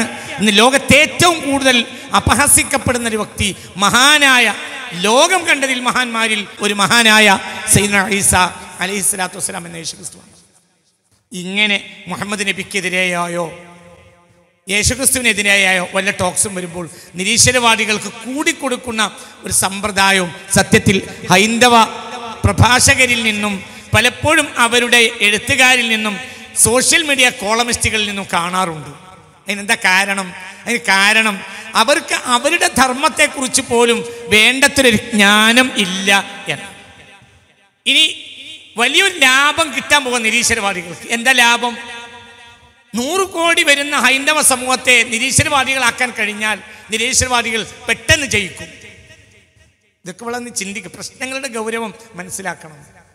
ഏതെങ്കിലും ഒരു വിഷയത്തിൽ ഇവരെ നിരീശ്വരവാദ പക്ഷെ നിലവിൽ അങ്ങനെയാണ് വരുന്നത്. ഉദാഹരണം ദുര്യോധനൻ. ധർമ്മപുത്രനല്ല ശരി അല്ലെങ്കിൽ പഞ്ചപാണ്ഡവന്മാരല്ല ശരി കൗരവന്മാരാണ് എന്ന് പറയാൻ അതിനും അതിന്റെതായ ഒരു ഹിസ്റ്റോറിക്കൽ കാരണം. എന്താ കാരണം? കൗരവന്മാരുടെ നേതാവ് ദുര്യോധനന ദുര്യോധനൻ നിരീശ്വരവാദിയാണ്. മഹാഭാരതം ആകെ വായിച്ചാൽ മഹാഭാരതം ആകെ നമ്മൾ വായിച്ചാൽ ഒരു പ്രാർത്ഥന ദുര്യോധനൻ ഒരു പ്രാർത്ഥന നടത്തുന്ന ഒരു ചിത്രം അതിലില്ല. വേദപണ്ഡിതന്മാരായ ബ്രാഹ്മണന്മാരെ സമീപിക്കുന്നതോ അല്ലെങ്കിൽ അവരെ സഹായിക്കുന്നതോ അല്ലെങ്കിൽ വേദവും ധർമ്മവും നിലനിൽക്കാൻ വേണ്ടി എന്തെങ്കിലും ചെയ്യുന്നതോ ആയ ഒരു കാര്യം ദുര്യോധനിൽ നിന്ന് കാണുന്നില്ല. എന്നാൽ തന്റെ രാഷ്ട്രീയ ലാഭത്തിന് വേണ്ടി ചില കാര്യങ്ങളൊക്കെ ചെയ്യുന്നുണ്ട്. അത് രാഷ്ട്രീയക്കാരുടെ പൊതു സ്വഭാവം അതാണ്. മഹാഭാരതത്തിലെ രാഷ്ട്രീയത്തിലെ ഏറ്റവും വലിയ രാഷ്ട്രീയക്കാരൻ എന്ന് പറഞ്ഞാൽ ദുര്യോധനൻ. നിലവിൽ രാഷ്ട്രീയക്കാരുടെ അവസ്ഥ അങ്ങനെ തന്നെയാണ്. എന്തുകൊണ്ട്? ഒരു മതപക്ഷത്തേക്ക് ചായുന്നതായി നമ്മൾ തോന്നുമ്പോഴും ഒരു വിശ്വാസം അതാവില്ല. അവരവരുടെ രാഷ്ട്രീയ ലാഭത്തിന് വേണ്ടി ചെയ്യുന്ന പ്രവർത്തനം മാത്രമായിരിക്കും. മഹാഭാരതം ആകെ വായിച്ചാൽ ദുര്യോധനൻ ഒരു പ്രാർത്ഥന നടത്തുന്നതോ ഒരു ആരാധന നടത്തുന്നതോ ആയ ഒരു സാമ്പിൾ അതിൽ കാണാൻ കഴിയില്ല. നിരീശ്വരവാദിയാണ് ദുര്യോധനൻ. അതുകൊണ്ട് നിലവിൽ നിരീശ്വരവാദികൾ കൗരവപക്ഷത്താണ്. ചരിത്രം തിരിച്ചു വരിക ഇനി മാറും. എനിക്ക് തോന്നുന്ന ഈ നിലയ്ക്ക് പോയാൽ നമ്മൾ ഹൈന്ദവ വേദധർമ്മങ്ങളൊക്കെ പറ്റി നമ്മൾ സ്കൂളുകളിൽ പഠിപ്പിക്കും. ആ വേദങ്ങൾ പഠിപ്പിക്കുന്നതും പാണ്ഡവന്മാർ ശരിയും കൗരന്മാർ തെറ്റുമായിട്ടാണ്. എന്നാൽ ഒരു പത്ത് കൊല്ലം കഴിഞ്ഞാൽ അവസ്ഥ വീണ്ടും മാറും. എന്തുകൊണ്ട്? വിദ്യാഭ്യാസം ഏകദേശം നിരീശ്വരവാദികൾ കൈയടക്കും. ഈ അടുത്ത കാലഘട്ടത്തിൽ മതമില്ലാത്ത ജീവനെക്കുറിച്ചൊക്കെ ചർച്ച നമ്മുടെ നാട്ടിൽ വന്നത് നിങ്ങൾക്കറിയാം. അങ്ങനെ വന്നാൽ എന്താവും? കൗരവന്മാരായിരിക്കും ശരി. എന്താ കൗരവന്മാരുടെ നേതാവ് ദുര്യോധനന? ദുര്യോധന നിരീശ്വരവാദിയാണ് ദുര്യോധൻ നിരീശ്വരവാദിയാണെന്ന് പറയാൻ അതൊരു ഒരു ഹൈന്ദവ ധർമ്മത്തിലെ അല്ലെങ്കിൽ ഇതിഹാസത്തിലെ ഒരു കഥാപാത്രം നിരീശ്വരവാദി എന്ന് പറയാൻ നിങ്ങൾക്ക് എങ്ങനെ ധൈര്യം വന്നു എന്ന് ചോദിക്കുന്നവരും ചിലപ്പോൾ ഉണ്ടാവും. ഞാൻ ദുര്യോധനനെ കുറിച്ച് വിഷയം മനസ്സിലാക്കിയപ്പോൾ ദുര്യോധനനെ കുറിച്ചൊന്ന് പഠിച്ചു നോക്കി. ഇയാൾ ആരാ? അനവധി വേദപണ്ഡിതന്മാർ ദുര്യോധനൻ നിരീശ്വരവാദിയാണെന്ന് പറഞ്ഞിട്ടുണ്ട്. ഭാരതീയ പ്രശസ്ത വേദപണ്ഡിതനായ അരവിന്ദ് ശർമ്മയുടെ ആയിരത്തി തൊള്ളായിരത്തി നാൽപ്പതിലാണ് അദ്ദേഹം ജനിക്കുന്നത്. അദ്ദേഹത്തിന്റെ രണ്ടായിരത്തി ഏഴിൽ പ്രസിദ്ധീകരിച്ച ഒരു പുസ്തക പുസ്തകമുണ്ട്. The essays on the Mahabharata എന്ന പുസ്തകം. മഹാഭാരതത്തെക്കുറിച്ച് അദ്ദേഹം എഴുതിയ കുറച്ച് എസ്സേകളാണ്. The essays on the Mahabharata എന്ന പുസ്തകത്തിൽ പറയുന്നുണ്ട്. അത് ഇന്നത്തെ ഭാരതത്തിലെ പ്രഗത്ഭ വേദപണ്ഡിതനായ അരവിന്ദ് ശർമ്മയാണ് ഈ പുസ്തകം എഴുതിയത്. ആ പുസ്തകത്തിൽ പറയുന്നുണ്ട് ദുര്യോധനൻ നിരീശ്വരവാദിയാണ്. അദ്ദേഹം പ്രാർത്ഥിച്ചിട്ടില്ല. അദ്ദേഹത്തിന് ഒരു ദൈവത്തിനും വിശ്വാസമില്ല. അങ്ങനെ നമ്മൾ പഠിക്കുമ്പോൾ മനസ്സിലാക്കുന്നത് ദൈവനിഷേധികളും ദൈവപക്ഷത്തുള്ളവരും തമ്മിലുള്ള ഒരു യുദ്ധമായിട്ടാണ് മഹാഭാരതത്തെ മനസ്സിലാക്കേണ്ടത്. അപ്പോൾ പിന്നെ നിരീശ്വരവാദികൾ കൗരവപക്ഷത്ത് നിൽക്കുമെന്ന കാര്യവും ഉറപ്പന്നെ. കാരണം അവരുടെ വിഭാഗം കൗരവരാണ്. ഇതൊന്നും ആധുനിക ജനത മനസ്സിലാക്കാതെ പോവാം കഴിഞ്ഞില്ല. ദുര്യോധനൻ ആരാണ്? എന്താണ് ആ കഥാപാത്രത്തിന്റെ സ്വഭാവം? എന്ത് എന്നതിന് വീണ്ടും ചില ഗ്രന്ഥങ്ങൾ ഞാൻ വായിക്കാം. ഭാരതീയ വേദപണ്ഡിതനായ ചതുർവേദി ബദ്രീനാഥ് അദ്ദേഹം ഐ എ എസ് ഓഫീസർ പ്രഗത്ഭനായ ഇന്ത്യയിലെ പ്രഗത്ഭനായ ഒരു ഐ എ എസ് ഓഫീസറായിരുന്നു അദ്ദേഹം. ആയിരത്തി തൊള്ളായിരത്തി മുപ്പത്തി മൂന്നിൽ ജനിച്ച് രണ്ടായിരത്തി പത്തിൽ മരണപ്പെട്ടു. അദ്ദേഹത്തിന്റെ ഒരു പുസ്തകമുണ്ട്. The Mahabharata an enquiry in human condition എന്നൊരു പുസ്തകമുണ്ട്. മഹാഭാരതത്തിലെ വ്യക്തികളുടെ മാനുഷിക അവസ്ഥകളെ കുറിച്ചുള്ള ഒരു പഠനം. The Mahabharata enquiry in human condition. അതിൽ ഒരുപാട് വ്യക്തികളെ പറയുന്നുണ്ട് മഹാഭാരതത്തിൽ. ആ വ്യക്തികളുടെയൊക്കെ അവസ്ഥകൾ അവർ മതവിശ്വാസികളോ ദൈവവിശ്വാസികളോ അല്ലാത്തവരോ എന്ന കാര്യത്തിൽ ഭാരതീയ വേദപണ്ഡിതനായ ചതുർവേദി ബദ്രീനാഥ് എഴുതി രണ്ടായിരത്തി ആറിൽ പ്രസിദ്ധീകരിച്ച പുസ്തകം അദ്ദേഹം വലിയ ഐ എസ് ഓഫീസറാണ്. ഇതിന് ഈ പുസ്തകത്തിന് വേറെ ഒരു പ്രത്യേകതയുണ്ട്. ഈ പുസ്തകത്തിന് രണ്ടായിരത്തി ഒമ്പതിലെ കേന്ദ്ര സാഹിത്യ അക്കാദമിയുടെ പ്രധാനപ്പെട്ട പുസ്തകത്തിന് അവാർഡ് ലഭിച്ചു. എന്നല്ല മഹാഭാരതത്തെക്കുറിച്ച് ഇരുപത്തിയൊന്നാം നൂറ്റാണ്ടിൽ എഴുതിയ ഏറ്റവും മഹത്തായ ഗ്രന്ഥം എന്നാണ് ഇതേക്കുറിച്ച് കേന്ദ്ര സാഹിത്യ അക്കാദമിയുടെ ജൂറി അഭിപ്രായപ്പെട്ടത്. എന്താ പുസ്തകത്തിന്റെ പേര് the Mahabharata an enquiry in human condition എന്ന പുസ്തകത്തിലും പറയുന്നുണ്ട്. ദുര്യോധനൻ പഞ്ചപാണ്ഡവന്മാർക്കെതിരായതിനോ അല്ലെങ്കിൽ കൃഷ്ണത്തിനെതിരായതിനോ അത്ഭുതമില്ല. അയാൾ നിരീശ്വരവാദിയാണ്. നിലവിൽ നമ്മുടെ വിദ്യാഭ്യാസവും ചരിത്രമൊക്കെ കൗരവർക്ക് അനുകൂലമായി ടേൺ ചെയ്യുന്ന അവസ്ഥയിലേക്ക് വന്നുകൊണ്ടിരിക്കാൻ ഒരു അഞ്ച് കൊല്ലം പത്ത് കൊല്ലം കഴിഞ്ഞിട്ട് നമ്മളെ കുട്ടികൾ സ്കൂളിൽ പഠിക്കുക. പാണ്ഡവന്മാരല്ല ശരി കൗരവന്മാരായിരിക്കും എന്ന്. അതായത് ചരിത്രത്തിന് ഇപ്പോൾ നൽകുന്ന ഈ വക്രീകരണം മുസ്ലിങ്ങൾക്ക് മാത്രമല്ല എല്ലാവരെയും ബാധിക്കും. അതിനെന്താ കാരണം? ലോകത്തെ ഏറ്റവും വലിയ മതവിഭാഗങ്ങളിൽപ്പെട്ട ഒരു മതവിഭാഗമാണ് ഹിന്ദുക്കൾ. അവർ അവരുടെ വേദങ്ങളെക്കുറിച്ച് ഉറങ്ങാണ്. കഴിഞ്ഞില്ല. ഭാരതീയ പ്രഗത്ഭ ഭാരതീയ വേദപണ്ഡിതന ആണ് സ്വാമി ജ്യോതിർമയാനന്ദ് ബീഹാറുകാരനായ അദ്ദേഹം ആയിരത്തി തൊള്ളായിരത്തി തൊണ്ണൂറ്റി മൂന്നിൽ പ്രസിദ്ധീകരിച്ച ഒരു പുസ്തകമുണ്ട്. ന്യൂഡൽഹിയിലെ യോഗ റിസർച്ച് ഫൗണ്ടേഷന്റെ പ്രസിഡന്റാണ് അദ്ദേഹം. അദ്ദേഹം ആ ഫൗണ്ടേഷൻ തന്നെയാണ് ന്യൂഡൽഹിയിലെ യോഗ റിസർച്ച് ഫൗണ്ടേഷനാണ് ഈ പുസ്തകം സ്ഥിരീകരിക്കുന്നത് ആ പുസ്തക പുസ്തകത്തിന്റെ പേര് the mysticism of the Mahabharata എന്നാണ്. മഹാഭാരതത്തിന്റെ ആത്മീയ ഉള്ളറകൾ എന്നാണ് ഈ പുസ്തകത്തിന്റെ പേര്. The mysticism of the Mahabharata. ഈ പുസ്തകത്തിലും സ്വാമി ജ്യോതിർമയാനന്ദ പറയുന്നുണ്ട് ദുര്യോധനൻ ഒരു മതവിശ്വാസിയല്ല അദ്ദേഹം ദൈവവിശ്വാസിയല്ല നിരീശ്വരവാദിയാണ്. കഴിഞ്ഞില്ല. ഡൽഹി യൂണിവേഴ്സിറ്റി പ്രസിദ്ധീകരിച്ച വേറെ പുസ്തകമുണ്ട് കെ എസ് രാമചന്ദ്രന്റെ അദ്ദേഹം ഒരു ഐ എസ് ഓഫീസറാണ്. അദ്ദേഹത്തിന്റെ ആയിരത്തി തൊള്ളായിരത്തി എഴുപത്തി ആറിലാണ് ഡൽഹി യൂണിവേഴ്സിറ്റി പുസ്തകം പ്രസിദ്ധീകരിക്കുന്നത്. ആയിരത്തി തൊള്ളായിരത്തി ഇരുപത്തി ഏഴിലാണ് അദ്ദേഹം ജനിക്കുന്നത്. ആയിരത്തി തൊള്ളായിരത്തി എഴുപത്തി ആറിൽ ഡൽഹി യൂണിവേഴ്സിറ്റി പ്രസിദ്ധീകരിച്ച പുസ്തകമാണ് മഹാഭാരതം മിത്ത് ആൻഡ് റിയാലിറ്റി എന്ന പുസ്തകമുണ്ട്. മഹാഭാരതം. ഗ്രന്ഥം ഐതിഹ്യവും യാഥാർത്ഥ്യവും എന്ന ഗ്രന്ഥം. മഹാഭാരത മിത്ത് ആൻഡ് റിയാലിറ്റി എന്ന പുസ്തകം. ആ പുസ്തകത്തിലും പറയുന്നുണ്ട് ദുര്യോധനൻ ഒരു ദൈവവിശ്വാസിയുമല്ല മതവിശ്വാസിയുമല്ല. അയാൾ സാക്ഷാൽ നിരീശ്വരവാദിയായിരുന്നു. പ്രഗത്ഭ ഇന്ത്യൻ ചരിത്രകാരനും ഹൈന്ദവ വേദ പണ്ഡിതനുമായ ദേവദത്ത് പട്നായിക്ക് രണ്ടായിരത്തി ഒമ്പത് ഏപ്രിൽ നാലിന് തന്റെ ഔദ്യോഗിക വെബ്സൈറ്റിൽ എഴുതിയ ഒരു ലേഖനമുണ്ട്. The atheist turns to mythology എന്നാണ് ആ ലേഖനത്തിന്റെ heading. The atheist turns to mythology പുരാണങ്ങളിലേക്ക് തിരിയുന്ന നിരീശ്വരവാദി എന്ന ലേഖനം. ഈ ലേഖനത്തിൽ പറയുന്നുണ്ട് നിരീശ്വരവാദികൾ ഇപ്പോൾ പുരാണങ്ങളെ പിടിക്കുകയാണ്. അവർക്ക് ഏറ്റവും ഇഷ്ടപ്പെട്ട ആൾ ദുര്യോധനനാണ്. എന്തുകൊണ്ട്? അയാൾ നിരീശ്വരവാദിയാണ്. തത്തുല്യമായ ഒരുപാട് പുസ്തകങ്ങളും ടോക്സുകളും എല്ലാം ഇന്ന് കേരളത്തിൽ കിട്ടും. ഭഗവത്ഗീത. ഭഗവത്ഗീത മഹാഭാരതത്തിലെ ഒരു ഏരിയയാണ് യുദ്ധകാന്ഡമാണ്. മഹാഭാരതത്തിലെ യുദ്ധകാന്ഡമാണ് ഗീത. ഗീത വിഷമാണ് എന്ന പ്രസംഗം സോഷ്യൽ മീഡിയയിൽ കിട്ടും. നിരീശ്വരവാദികൾ നടത്തിയ ഇന്ന് വരെ ഹൈന്ദവ സമൂഹം ഒരു മറുപടി എന്ന് പറഞ്ഞിട്ടില്ല. അപ്പോൾ ഇതൊക്കെ വളരെ വേദനാജനകമായ സംഗതിയാണ്. അമേരിക്കയിലെ പ്യൂ റിസർച്ച് സെന്റർ സെന്റർ നടത്തിയ പഠനത്തിൽ അമ്പത് ശതമാനത്തിലേറെയും ഹിന്ദു സമൂഹത്തിന് മതത്തിലും ദൈവത്തിലും ആരാധനകളിലും വിശ്വാസമില്ല എന്നാണ് ഏറ്റവും പുതിയ കണ്ടെത്തൽ. അമ്പത് ശതമാനത്തിലേറെയും ഹിന്ദുക്കൾക്ക് മതത്തിലോ ദൈവത്തിലോ പുരാണ ഇതിഹാസം ഒരു വിശ്വാസമില്ല ഇത് വലിയ ദുരന്തം ഉണ്ടാക്കും. ഭാരതത്തിന് ദുരന്തം ഉണ്ടാക്കും. വലിയ പ്രശ്നം വേറെയുണ്ട്. എന്താ? ഹിന്ദു മതമല്ല സംസ്കാരമാണ് എന്ന് വരുത്തി തീർക്കുന്ന വലിയ ശ്രമങ്ങൾ നടന്നുകൊണ്ടിരിക്കുന്നുണ്ട്. അതൊരു മതമല്ല അത് വൻ ദുരന്ത. എങ്ങനെ മതമല്ലാതാവുക? ഹിന്ദു മതം മതല്ലേ? അതിന് വേദല്ലേ? ഋഗ്വേദം യജുർവേദം സാമവേദം അഥർവവേദം വേദങ്ങളില്ലേ?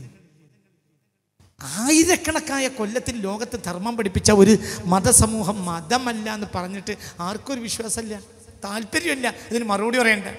പിന്നെ നിലവിലുള്ള രാഷ്ട്രീയക്കാരെ സംബന്ധിച്ചിടത്തോളം ഹിന്ദു മതം മതമാകുന്നതിനേക്കാൾ സംസ്കാരമാകലാണ് താല്പര്യം. എന്തുകൊണ്ട്? ഹിന്ദു മതം ഒരു സംസ്കാരമായാൽ ധർമ്മം പാലിക്കേണ്ടതില്ല. മതമാണെങ്കിൽ ധർമ്മം പാലിക്കേണ്ടി വരും. ഇതൊക്കെ വലിയ പ്രശ്നമാണ്.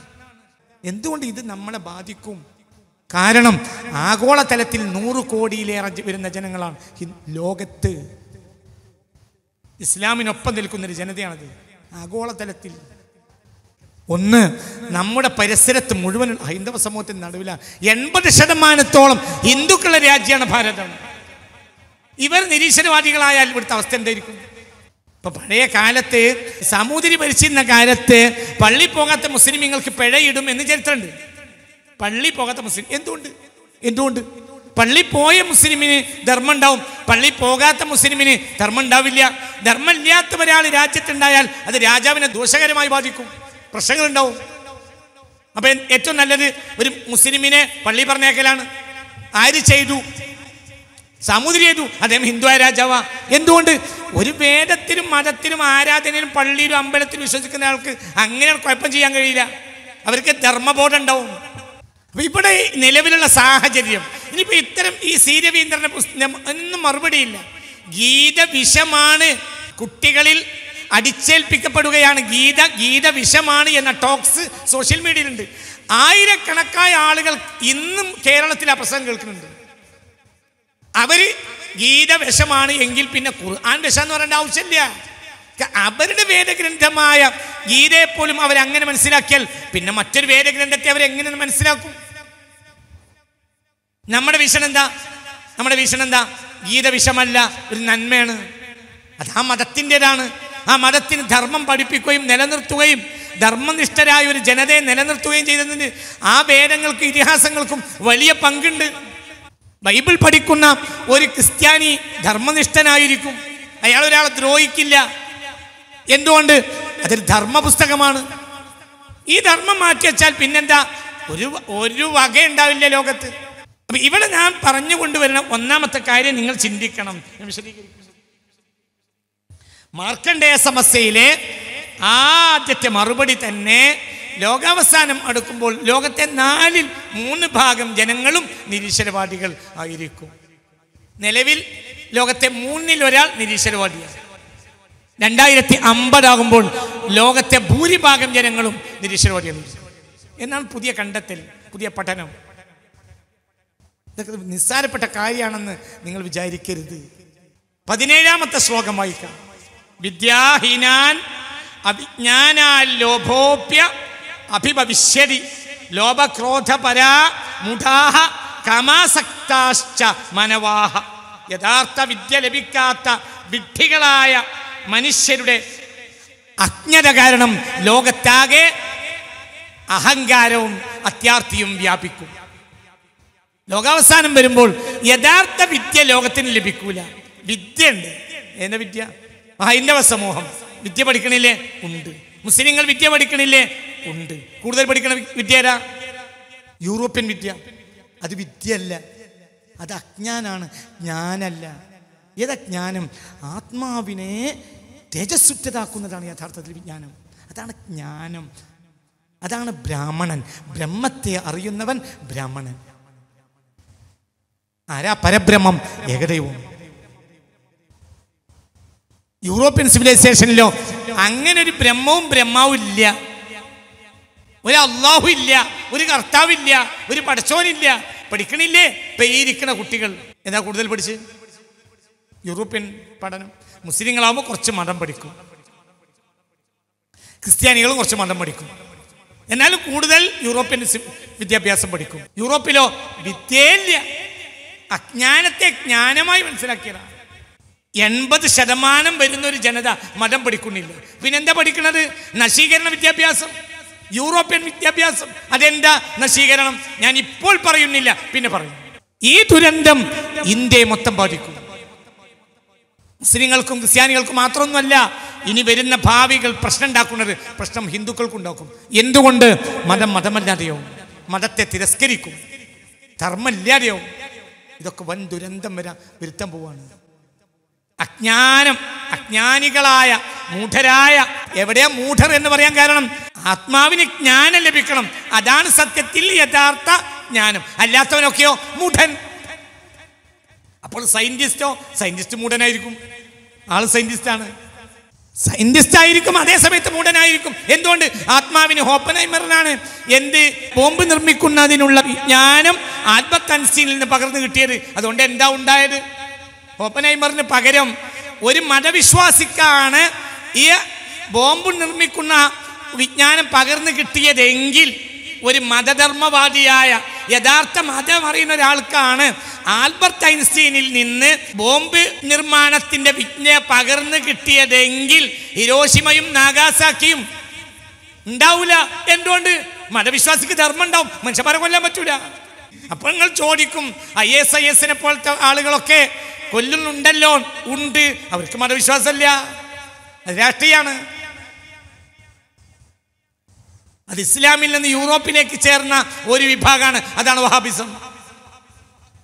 വേറൊരു വിഷയമാണ്. എവിടുന്ന് അത് വന്നെന്ന് മനസ്സിലാക്കണം. ഇതിന്റെ ഒക്കെ പിതാക്കൾ അവർക്ക് മതവിശ്വാസേ ഇല്ല. ധർമ്മവിശ്വാസമുള്ള ഒരു മനുഷ്യൻ ഒരാളെ ദ്രോഹിക്കൂല. യഥാർത്ഥ വിദ്യ ലഭിക്കാത്ത വിഡ്ഢികളായ മനുഷ്യരുടെ അജ്ഞത കാരണം അത്യാഗ്രഹം വ്യാപിക്കും. പണ്ഡിതനും പണ്ഡിത വേഷധാരിയും. പണ്ഡിതന് ഭൗതിക പരിത്യാഗിയിരിക്കും എന്തുകൊണ്ട് ദുന്യാവിന്റെ വിലയൊക്കെ അറിയും അതുകൊണ്ട് അത് വലിച്ചൂട്ടാൻ അയാൾ നോക്കൂല. പണ്ഡിത വേഷധാരിയോ? വലിച്ചു കൂട്ടാനെ നോക്കുക കാരണം അയാൾക്ക് വിദ്യ കിട്ടിയിട്ടില്ല. യഥാർത്ഥ വിജ്ഞാനം കിട്ടിയിട്ടില്ല. ആദ്യത്തിന്റെ ഉള്ളിൽ മറ്റത് വേണം. എന്ത്? മതം. എന്താ മതം? ഭൗതിക പരിത്യാഗം. ലോഭ ക്രോധ പരാമൂഢാഹ കാമസക്താശ്ച മാനവാഹ. ആ കാലഘട്ടത്തിലെ ജനങ്ങൾ അത്യാഗ്രഹികളായ ജനങ്ങൾ കാമത്തിൽ ബന്ധിതരായിരിക്കും. കാമം മാത്രമായിരിക്കും അവരുടെ ചിന്ത. പണം ഉണ്ടാക്കുക ലൈംഗിക വൃത്തി. വക്കിബിലത്തുഹും നിസാഉഹും എന്ന് പുണ്യ റസൂൽ പറഞ്ഞിട്ടുണ്ട് ഇതേപോലെ യോജിപ്പ് നോക്ക്. ആ കാലഘട്ടത്തിൽ ഒരാളുടെ മഹത്വം അയാളെ കയ്യിലുള്ള വസ്തുക്കളുടെ അളവനുസരിച്ചിരിക്കും. അയാളെ മുറ്റത്ത് നാല് കാറുണ്ട്. അയാളെ വീടിന് വലിയ വലുപ്പുണ്ട് ഒരാളുടെ മഹത്വം അന്ത്യകാലം എടുക്കുമ്പോൾ ഒരാളുടെ മഹത്വം അയാളെ കയ്യിലുള്ള സാധനങ്ങളായിരിക്കും. അവരെ കിബില പെണ്ണുമായിരിക്കും. ലോകാവസാനം വരുമ്പോൾ മഹദീമാമ വരുന്നതിന് തൊട്ട് മുമ്പ് ഇനി ഇതിന്റെയൊക്കെ ലാസ്റ്റ് ഭാഗം കൽക്കിയ. അര കൽക്കി ഇമാം മഹദി. യോജിക്കുക മഹാഭാരതം ഈ കാണ്ട അവസാനിക്കുന്നത് കൽക്കിയിലാണ് ഇതേ കൽക്കിയെ കൊണ്ടുവരിക. ആര്? വിഷ്ണുദാസന. ആരാ വിഷ്ണുദാസൻ? വിഷ്ണു ഏകദൈവ. ദാസനാര? മഹദിയുടെ പിതാവ്. മഹദിയുടെ പിതാവ് വിഷ്ണുദാസന. വിഷ്ണുദാസൻ അബ്ദുള്ളയാണ് വേറൊരു പഠനമാണ് പിന്നീട് പറയാം. ആ മഹദി വരാൻ അടുത്തു പോയാലുള്ള കാലഘട്ടത്തിന്റെ രീതിയാ പറഞ്ഞത് എന്റെ പുണ്യ റസൂൽ പറയാ കിബിലത്തുഹും നിസാഹും അവരുടെ കിബില എന്ന് പറഞ്ഞാൽ പെണ്ണായിരിക്കും. അതെന്നെ ഇവിടെ പറഞ്ഞത് എന്റെ ലോപക്രോധ പരാമുടാഹ കമാസക്താശ്ച മാനവാഹ. ആ കാലഘട്ടത്തിലെ മനുഷ്യർ അത്യാഗ്രഹികളുമായിരിക്കും സ്വന്തം കാമത്തിൽ ബന്ധിതരായിരിക്കും. പെണ്ണ് പണം ഇതല്ലാത്തൊരു ചിന്ത അക്കാലത്തെ മനുഷ്യർക്ക് ഉണ്ടാവില്ല കഴിഞ്ഞില്ല. പതിനെട്ടാം ശ്ലോകം. വൈരബദ്ധ ഭവിഷ്യന്തി പരസ്പര വധേത്സവ ബ്രാഹ്മണാഹ ക്ഷത്രിയാ വൈശാഹ സംഗീരന്ത പരസ്പരം. അവർ പരസ്പരം ശത്രുതയിൽ ബന്ധിക്കപ്പെടും. അത് കാരണമായി അവർ പരസ്പരം വധിക്കും. വൈരബദ്ധ ഭവിഷ്യന്തി പരസ്പര വധേത്സവ അക്കാലത്തെ മനുഷ്യർ പരസ്പരം കൊല്ലുന്ന താല്പര്യം മാത്രമായിരിക്കും. അവസാന കാലഘട്ടത്തിലെ കുറിച്ച് പുണ്യ റസൂൽ പറഞ്ഞു കൊല അധികരിക്കുക. എന്തിനാണ് ഞാൻ കൊല്ലുന്നതെന്ന് കൊല്ലുന്നവൻ അറിയൂല. കൊലയായിരിക്കും എവിടെയും. അക്കാലത്ത് മനുഷ്യർ മുഴുവനും ആയുധമേന്തി നടക്കും. മനുഷ്യനെ കൊല്ലണം. ഇന്ന് ചർച്ച തന്നെ അതല്ലേ? കൊല്ലാന്നല്ലാത്ത എന്ത് ചർച്ച മതം പോലും ഇപ്പോൾ ചർച്ച ചെയ്യുന്നത് എങ്ങനെ മറ്റൊരാളെ കൊല്ലാൻ കഴിയുന്നു? മതത്തിൽ പോലും അതപ്പോൾ ചർച്ച. അതാണ് അവസാന കാലഘട്ടം. ഇനിയിപ്പോൾ എന്ത് കാത്തായിരിക്കുന്നത് ബ്രാഹ്മണാഹ ക്ഷത്രിയ വൈശ്യാഹ സംഗീരന്ത പരസ്പരം മൂന്ന് വിഭാഗങ്ങളും ഭിന്നിക്കും. പണ്ഡിതന്മാരും ഭരണാധികാരികളും കച്ചവടക്കാരും. ബ്രാഹ്മണൻ പണ്ഡിതൻ. ക്ഷത്രിയൻ ഭരണാധികാരി. വൈശ്യൻ കച്ചവടക്കാരൻ. ഇവർക്ക് ഓരോരുത്തർക്കും അവരവരുടെ താല്പര്യമായിരിക്കും. ഈ മൂന്ന് വിഭാഗവും യോജിച്ച് നിന്നാൽ മാത്രമേ ഒരു സൊസൈറ്റി ഏകമാനകത്തിൽ പോകുള്ളൂ. ഒരു ഒരേ അവസ്ഥയെ പോകുള്ളൂ. പണ്ഡിതൻ ഒരവസ്ഥയെ പോകും. ഭരണാധികാരി വേറെ അവസ്ഥയിലായിരിക്കും. ഇതാണ് മൂന്ന് വിഭാഗം പ്രധാനമായും. ആ പ്രധാന ആ വിഭാഗങ്ങളെല്ലാം പരസ്പരം ശത്രുക്കളായി മാറും. ഞാൻ വിശദീകരിക്കുന്നില്ല. നമുക്കൊക്കെ ഇന്ന് ആലോചിച്ചാൽ അറിയുന്ന കാര്യങ്ങളാണ്. ശുദ്ര തുല ഭവിഷ്യന്തി തപഹ പത്തൊമ്പതാം ശ്ലോകം. സത്യവിവർജിതാഹ. ബ്രാഹ്മണരും ക്ഷത്രിയരും വൈശ്യരും തപസ്സും ധർമ്മവും മതവും എല്ലാം ഉപേക്ഷിക്കും. കൃത്യമാണ്. ഞാൻ പറയുന്നത് ഹൈന്ദവ സഹോദരങ്ങൾ യഥാർത്ഥത്തിൽ സ്വന്തം മതഗ്രന്ഥം ഒന്ന് എടുത്തു നോക്കണം. ബ്രാഹ്മണന്മാരും ക്ഷത്രിയന്മാരും വൈശ്യന്മാരുമെല്ലാം ലോകാവസാനമാകുമ്പോൾ സ്വന്തം ധർമ്മം ഉപേക്ഷിക്കും ആരാധന ഉപേക്ഷിക്കും നേർച്ചകൾ ഉപേക്ഷിക്കും തപസ് ഉപേക്ഷിക്കും. അതിലൊന്നും താല്പര്യം ഉണ്ടാവില്ല. സത്യം തന്നെയാ. ബ്രാഹ്മണരെ പറ്റി പറയുകയേ വേണ്ട. ബ്രാഹ്മണർ എന്നൊരു വിഭാഗമുണ്ട്. പക്ഷേ ആ ബ്രാഹ്മണരെ ഇന്ന് നമ്മൾ ബ്രാഹ്മണരായി കാണുന്നില്ല. ആ ബ്രാഹ്മണർക്ക് ഇന്ന് താല്പര്യം ഇംഗ്ലീഷ് വിദ്യാഭ്യാസം നേടല. ഏകദേശം ബ്രാഹ്മണ കുടുംബങ്ങളെല്ലാം ഇംഗ്ലീഷ് വിദ്യാഭ്യാസം നേടിയിട്ട് അമേരിക്കയിലും കാനഡയിലും യൂറോപ്യൻ രാജ്യങ്ങളിലും സെറ്റിൽമെന്റ് ആയി കഴിഞ്ഞു. അങ്ങനെയാണ്. അവരെ മുൻഗാമികളാരാ? വലിയ വലിയ പണ്ഡിതന്മാർ. വലിയ വലിയ പണ്ഡിതന്മാർ. ഒരു കാലത്ത് മതധർമ്മങ്ങൾ അറിയാത്ത ജനവിഭാഗമാണ് ശൂദ്രർ. അവർക്ക് തുല്യരാവും. ആര്? ബ്രാഹ്മണരും ക്ഷത്രിയരുമെല്ലാം ശൂദ്രരോ? ഞാൻ പിന്നീട് പറയാം. ബ്രാഹ്മണർ ആ പണിയൊക്കെ ഒഴിവാക്കും. അവർ വേദം പഠിക്കുന്നത് ഒഴിവാക്കും. അതെല്ലാം അവർ വർജിക്കും അന്യോന്യം പരിമുഷ്ണന്തോ ഹിംസയ യന്തശ്ച മാനവാഹ അജപ നാസ്തികാഹ സ്തേനാ ഭവിഷ്യന്തി യുഗച്ചതെ വളരെ ചിന്തിക്കേണ്ട ഒരു ശ്ലോകാണിത്. എന്താ പറയുന്നത്? അന്യോന്യം പരിമുഷ്ണന്തോ ഓരോരുത്തരും പരസ്പരം ഒരു വേഷമോ ഇല്ലാതെ വേദനിപ്പിക്കും. ഒരാളെ വേദനിപ്പിക്കുന്നതിന് ഒരാൾക്കൊരു പ്രയാസം ഉണ്ടാവില്ല. ഒരു ധർമ്മബോധം ഉണ്ടാവില്ല. ഒരാൾ വേദനിച്ചാൽ വേറെ പ്രയാസമൊന്നും ഉണ്ടാവില്ല. മനുഷ്യർ പരസ്പരം വേദനിപ്പിക്കും. എല്ലാവരും അജപാ നാസ്തികാഹസ്തേനാ ഭവിഷ്യന്തി യുഗച്ഛയെ. അജപാ നാസ്തികാഹ ജനിക്കുന്നതിന് മുമ്പ് തന്നെ കുട്ടികൾ നാസ്തികാഹ നിരീശ്വരവാദിയാവും. ലോകാവസാനം വന്നാൽ. ലോകാവസാനം വന്നാൽ തേന കള്ളനായിട്ട് അമ്മാടെ വയറ്റിന്ന് ഇറങ്ങി വരിക. എനിക്ക് ഈ ശ്ലോകം വായിച്ചപ്പോൾ ഇങ്ങനെ തോന്നി. എല്ലാ വേദത്തിലുള്ളതാണ് ഗർഭകാലത്ത് എന്ത് അമ്മമാര് ഉമ്മമാര് നല്ലത് വായിക്കണം. ഹിന്ദുക്കളാണെങ്കിൽ പഴയ കാലത്ത് രാമായണം വായിക്കും. ക്രിസ്ത്യാനികളാണെങ്കിൽ അവർ ബൈബിൾ വായിക്കും. മുസ്ലിങ്ങളാണെങ്കിൽ ഖുർആാനോടും അല്ലെങ്കിൽ പഴയകാല നല്ല നല്ല മാലകൾ മൗലിതകൾ ഇതൊക്കെ വായിക്കും. ഈ കുട്ടിക്ക് നാല് മാസം കഴിഞ്ഞാൽ കുട്ടിയുടെ അവസ്ഥരാന്തരം എന്ന് പറഞ്ഞാൽ കുട്ടിക്ക് വല്ലാത്ത ചില കാര്യങ്ങളെ സ്വീകരിക്കാൻ കഴിയും. അതായത് ഗർഭത്തിൽ നിന്ന് തന്നെ പല കാര്യങ്ങളും മനസ്സിലെടു ആക്കിയെടുക്കാനുള്ളൊരു സാഹചര്യം കുട്ടിക്കുണ്ടാവും. അപ്പോൾ നല്ലത് കേൾക്കണം കുട്ടി. അതിന് അമ്മ നിരീശ്വരവാദിയാണ്. അമ്മ വായിക്കുന്നത് എല്ലാ പുസ്തകങ്ങളും നിരീശ്വരവാദി പുസ്തകമാണ്. അപ്പോൾ പിന്നെ ജനിക്കുന്നതിന് പിന്നെ കുട്ടി സ്വാഭാവികമായും എന്താവുമല്ലോ? അജബാ നാസ്തിക ജനിക്കുന്നതിന് മുമ്പേ കുട്ടികൾ നിരീശ്വരവാദിയോ സ്തേന കള്ളനോ. കള്ളൻ എന്ന വാക്ക് വേറൊരാളെ സമ്പത്ത് എങ്ങനെ അപഹരിക്കാം എന്നാവും സ്വകാര്യതയിൽ അച്ഛനും അമ്മയും ചർച്ച ചെയ്യുക. ദ്വയത്തിലുള്ള കുട്ടികൾക്കല്ലോ എത്ര അർത്ഥവത്താണ് പറഞ്ഞത്? അപ്പൊ ജനിക്കുന്ന കുട്ടികൾ തന്നെ നിരീശ്വരവാദിയായി പിന്നെ വളച്ച വളയൂല. പിന്നെ നന്നാവൂല. പിന്നെ നേരാക്കാൻ കഴിയില്ല. എന്തുകൊണ്ട്? അമ്മയുടെ ദോഷം. ഇതിന്റെയൊക്കെ സാഹചര്യം ഇന്ന് ലോകത്തുണ്ട്. വ്രതാനി ചരിഷ്യന്തി ബ്രാഹ്മണ വേദനിന്ദഗാഹ ന യച്ഛന്തി ന ഹൊഷ്യന്തി വേദുവാദ വിലോപിതാഹ. വേദങ്ങളെ നിന്ദിക്കുന്ന ബ്രാഹ്മണർ വ്രതങ്ങളോ ആചാരങ്ങളോ ആചരിക്കുകയില്ല. അതായത് ഒരു കാലത്ത് വലിയ വലിയ പണ്ഡിതന്മാരുള്ള തറവാട് ആ തറവാട്ടിൽ പിന്നീട് ഒരു വേദോച്ചാരണമോ ഒരു വേദനിഷ്ഠയോ ധർമ്മനിഷ്ഠയോ ആചാരനിഷ്ഠയോ ഒന്നും ഉണ്ടാവില്ല എന്തുകൊണ്ട് അവർ ഇംഗ്ലീഷ് വിദ്യാഭ്യാസത്തിന് ഉൾപ്പെടും. ഇതന്നെ പറഞ്ഞതിന്റെ അർത്ഥം. ലോകം മുഴുവനും ഇംഗ്ലീഷ് വിദ്യാഭ്യാസം വ്യാപിക്കും എന്നും വേദങ്ങളിലുണ്ട് ഹരീസുകളിലുണ്ട് പിന്നെ പറയാം. വേറെ പറയണം. കുറച്ച് പണിയുണ്ട്. ഞാൻ പ്രധാനി ചരിഷ്യന്തി ബ്രാഹ്മണ വേദനിന്ദഗാഹ ന യച്ഛന്തി ന ഹോഷ്യന്തി ഹേതുവാദ വിലോപിതാഹ വലിയ വാക്ക ആ പറഞ്ഞത്. എന്ത്? വലിയ വലിയ തറവാട്ടുകാരുടെ മക്കൾ പേരമക്കൾ.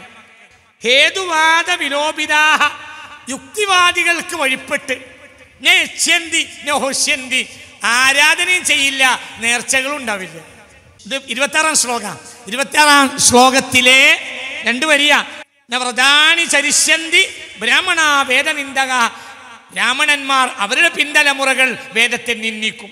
നയച്യന്തി നഹുഷ്യന്തി അവർക്ക് ആചാരവുമില്ല ആരാധനകളുമില്ല. എന്താ കാരണം? ഹേതുവാദ വിലോഭിതാഹ. അവർ ഹേതുവാദത്തിന് വഴിപ്പെടും. എന്താ ഹേതുവാദം? യുക്തിവാദം. അവിടെ ആചാരമുണ്ടോ? ഇല്ല. കാരണം ഇപ്പം മക്കൾ പേരമക്കളൊക്കെ ആരാ? നിരീശ്വരവാദികൾ യുക്തിവാദികൾ. ഇത്ര കൃത്യമാണ് ജയ് ശ്രീറാം എന്ന് വിളിക്കേണ്ട ഒരു ബാധ്യത ഒരു മുസ്ലിമിന് ഇല്ല. അള്ളാഹു അക്ബർ എന്ന് വിളിക്കേണ്ട ബാധ്യത ഹിന്ദുവിനും ഇല്ല. കർത്താവിന് സ്തോത്രം എന്ന് പറയേണ്ട ബാധ്യത മുസ്ലിമിനില്ല ഹിന്ദുവിനും ഇല്ല. അതേ സമയത്ത് അള്ളാഹു അക്ബർ എന്ന് വിളിക്കേണ്ട ബാധ്യത ക്രിസ്ത്യാനിക്കില്ല അതേ സമയത്ത് നമ്മളെ നാട്ടിൽ ഇപ്പോൾ നടക്കുന്നത് ഒരു മുസ്ലിം അല്ലെങ്കിൽ ക്രിസ്ത്യാനി ജയ് ശ്രീറാം എന്ന് വിളിച്ചിട്ടില്ലെങ്കിൽ അവനെ ഭത്സിക്കും അവനെ ഉപദ്രവിക്കും. അതിനുവേണ്ടി സംഘടനകളുണ്ട്. അതേ സമയത്ത് ഈ പറയപ്പെട്ട ശ്രീരാമൻ ചതിയനാണെന്ന് പറയുന്ന അനവധി പ്രസംഗങ്ങൾ നിരീശ്വരവാദികൾക്കുണ്ട്. അതിന് മറുപടി പറയാൻ ആളുമില്ല. ഇതിന് വലിയ ദുരന്തം എന്താ? അപ്പോൾ ഈ പറയുന്ന ആളുകൾക്ക് വരെ ശ്രീരാമനിൽ താല്പര്യമുണ്ടോ? ഉണ്ടെങ്കിൽ നിരീശ്വരവാദികളെ മറുപടി പറയേണ്ടത്? ഞാൻ വേദനയോട് ചോദിക്കുകയാണ്. പുത്ര പിതൃപദം കൃത്വാ പിതാ പുത്രവദം തഥാ. സ്ത്രീയോപി പതിപുത്രാധിൻവാ ദിഷ്ണയാന്തി നിരുദ്യോഗോ ബൃഹത്വാദീന നിന്ദാം ഉപലപ്സ്യതേ. പുത്ര പിതൃവധം കൃത്വാ പിതാ പുത്രവദം തഥാ. പുത്ര പിതൃവധം പുത്രന്മാർ പിതാക്കളെ കൊല്ലു. കൃത്വാ പിതാ പുത്രവദം തഥാ. പിതാവ് പുത്രന്മാരെ കൊല്ലും. സ്ത്രീയോ പതിപുത്രാധിന്മാതിഷ്ണയന്തി യുഗാക്ഷയെ. സ്ത്രീകൾ അവർ മക്കളെയും കൊല്ലും. ഭർത്താക്കന്മാരെയും കൊല്ലും. അവസാന കാലം അങ്ങനെയാണ്. നമ്മളെ നാട്ടിൽ അങ്ങനെ തന്നെയല്ലേ ഇപ്പോൾ കണ്ണ് ചൂടോട് ചൂട്. തോന്നുന്നുണ്ട് അങ്ങക്ക് ചൂട് ഇനി കുറയും. ഒരിക്കലും കുറയില്ല. രണ്ടായിരത്തി മുപ്പതിൽ പുറത്തിറങ്ങാൻ കഴിയില്ല. ഒരിക്കലും കഴിയില്ല. ഇപ്പൊ കഴിയില്ലല്ലോ സയൻസിന് ഈ വിഷയത്തിൽ വലിയ പഠനങ്ങൾ നടന്നിട്ടുണ്ട്. രണ്ടായിരത്തി അമ്പതാകുമ്പോഴത്തേന് പുറത്തൊരാൾക്ക് ചവിട്ടാൻ കഴിയില്ല. മരങ്ങളിൽ വലിയ ശതമാനം കരിഞ്ഞു പോകും. ഇന്ന് ശാസ്ത്ര പഠനമുണ്ട് അനവധി ശാസ്ത്ര പഠനമുണ്ട് എന്തുകൊണ്ട് ചൂട് ചൂട് പുറകോട്ട് പോവില്ല. ചൂട് മുന്നോട്ടേ പോകും ഇതൊക്കെ കണ്ടിട്ട് നമുക്ക് ലോകം അവസാനിക്കാൻ പോവാണ് എന്നൊരു ചിന്തയില്ല. എന്നാ വെള്ളപ്പൊക്കം ഉണ്ടാവും ചെയ്യും. എന്തുകൊണ്ട് വെള്ളപ്പൊക്കം ഉണ്ടാവും? വെള്ളപ്പൊക്കം ഉണ്ടാവും. കൃഷിയൊക്കെ നശിക്കും. വീട് നശിക്കും. ചൂട് പറയില്ല എന്തുകൊണ്ട്? ചൂട് കൂടിയാൽ ധ്രുവത്തിലെ മഞ്ഞുരുകും. മഞ്ഞുരുകിയാൽ വെള്ളപ്പൊക്കം ഉണ്ടാവും. കടൽ കയറും. ഒരുപാട് പട്ടണങ്ങൾ വെള്ളത്തിലടിയിലാവും. പക്ഷെ എന്തുണ്ടാവും? ചൂടുണ്ടാവും.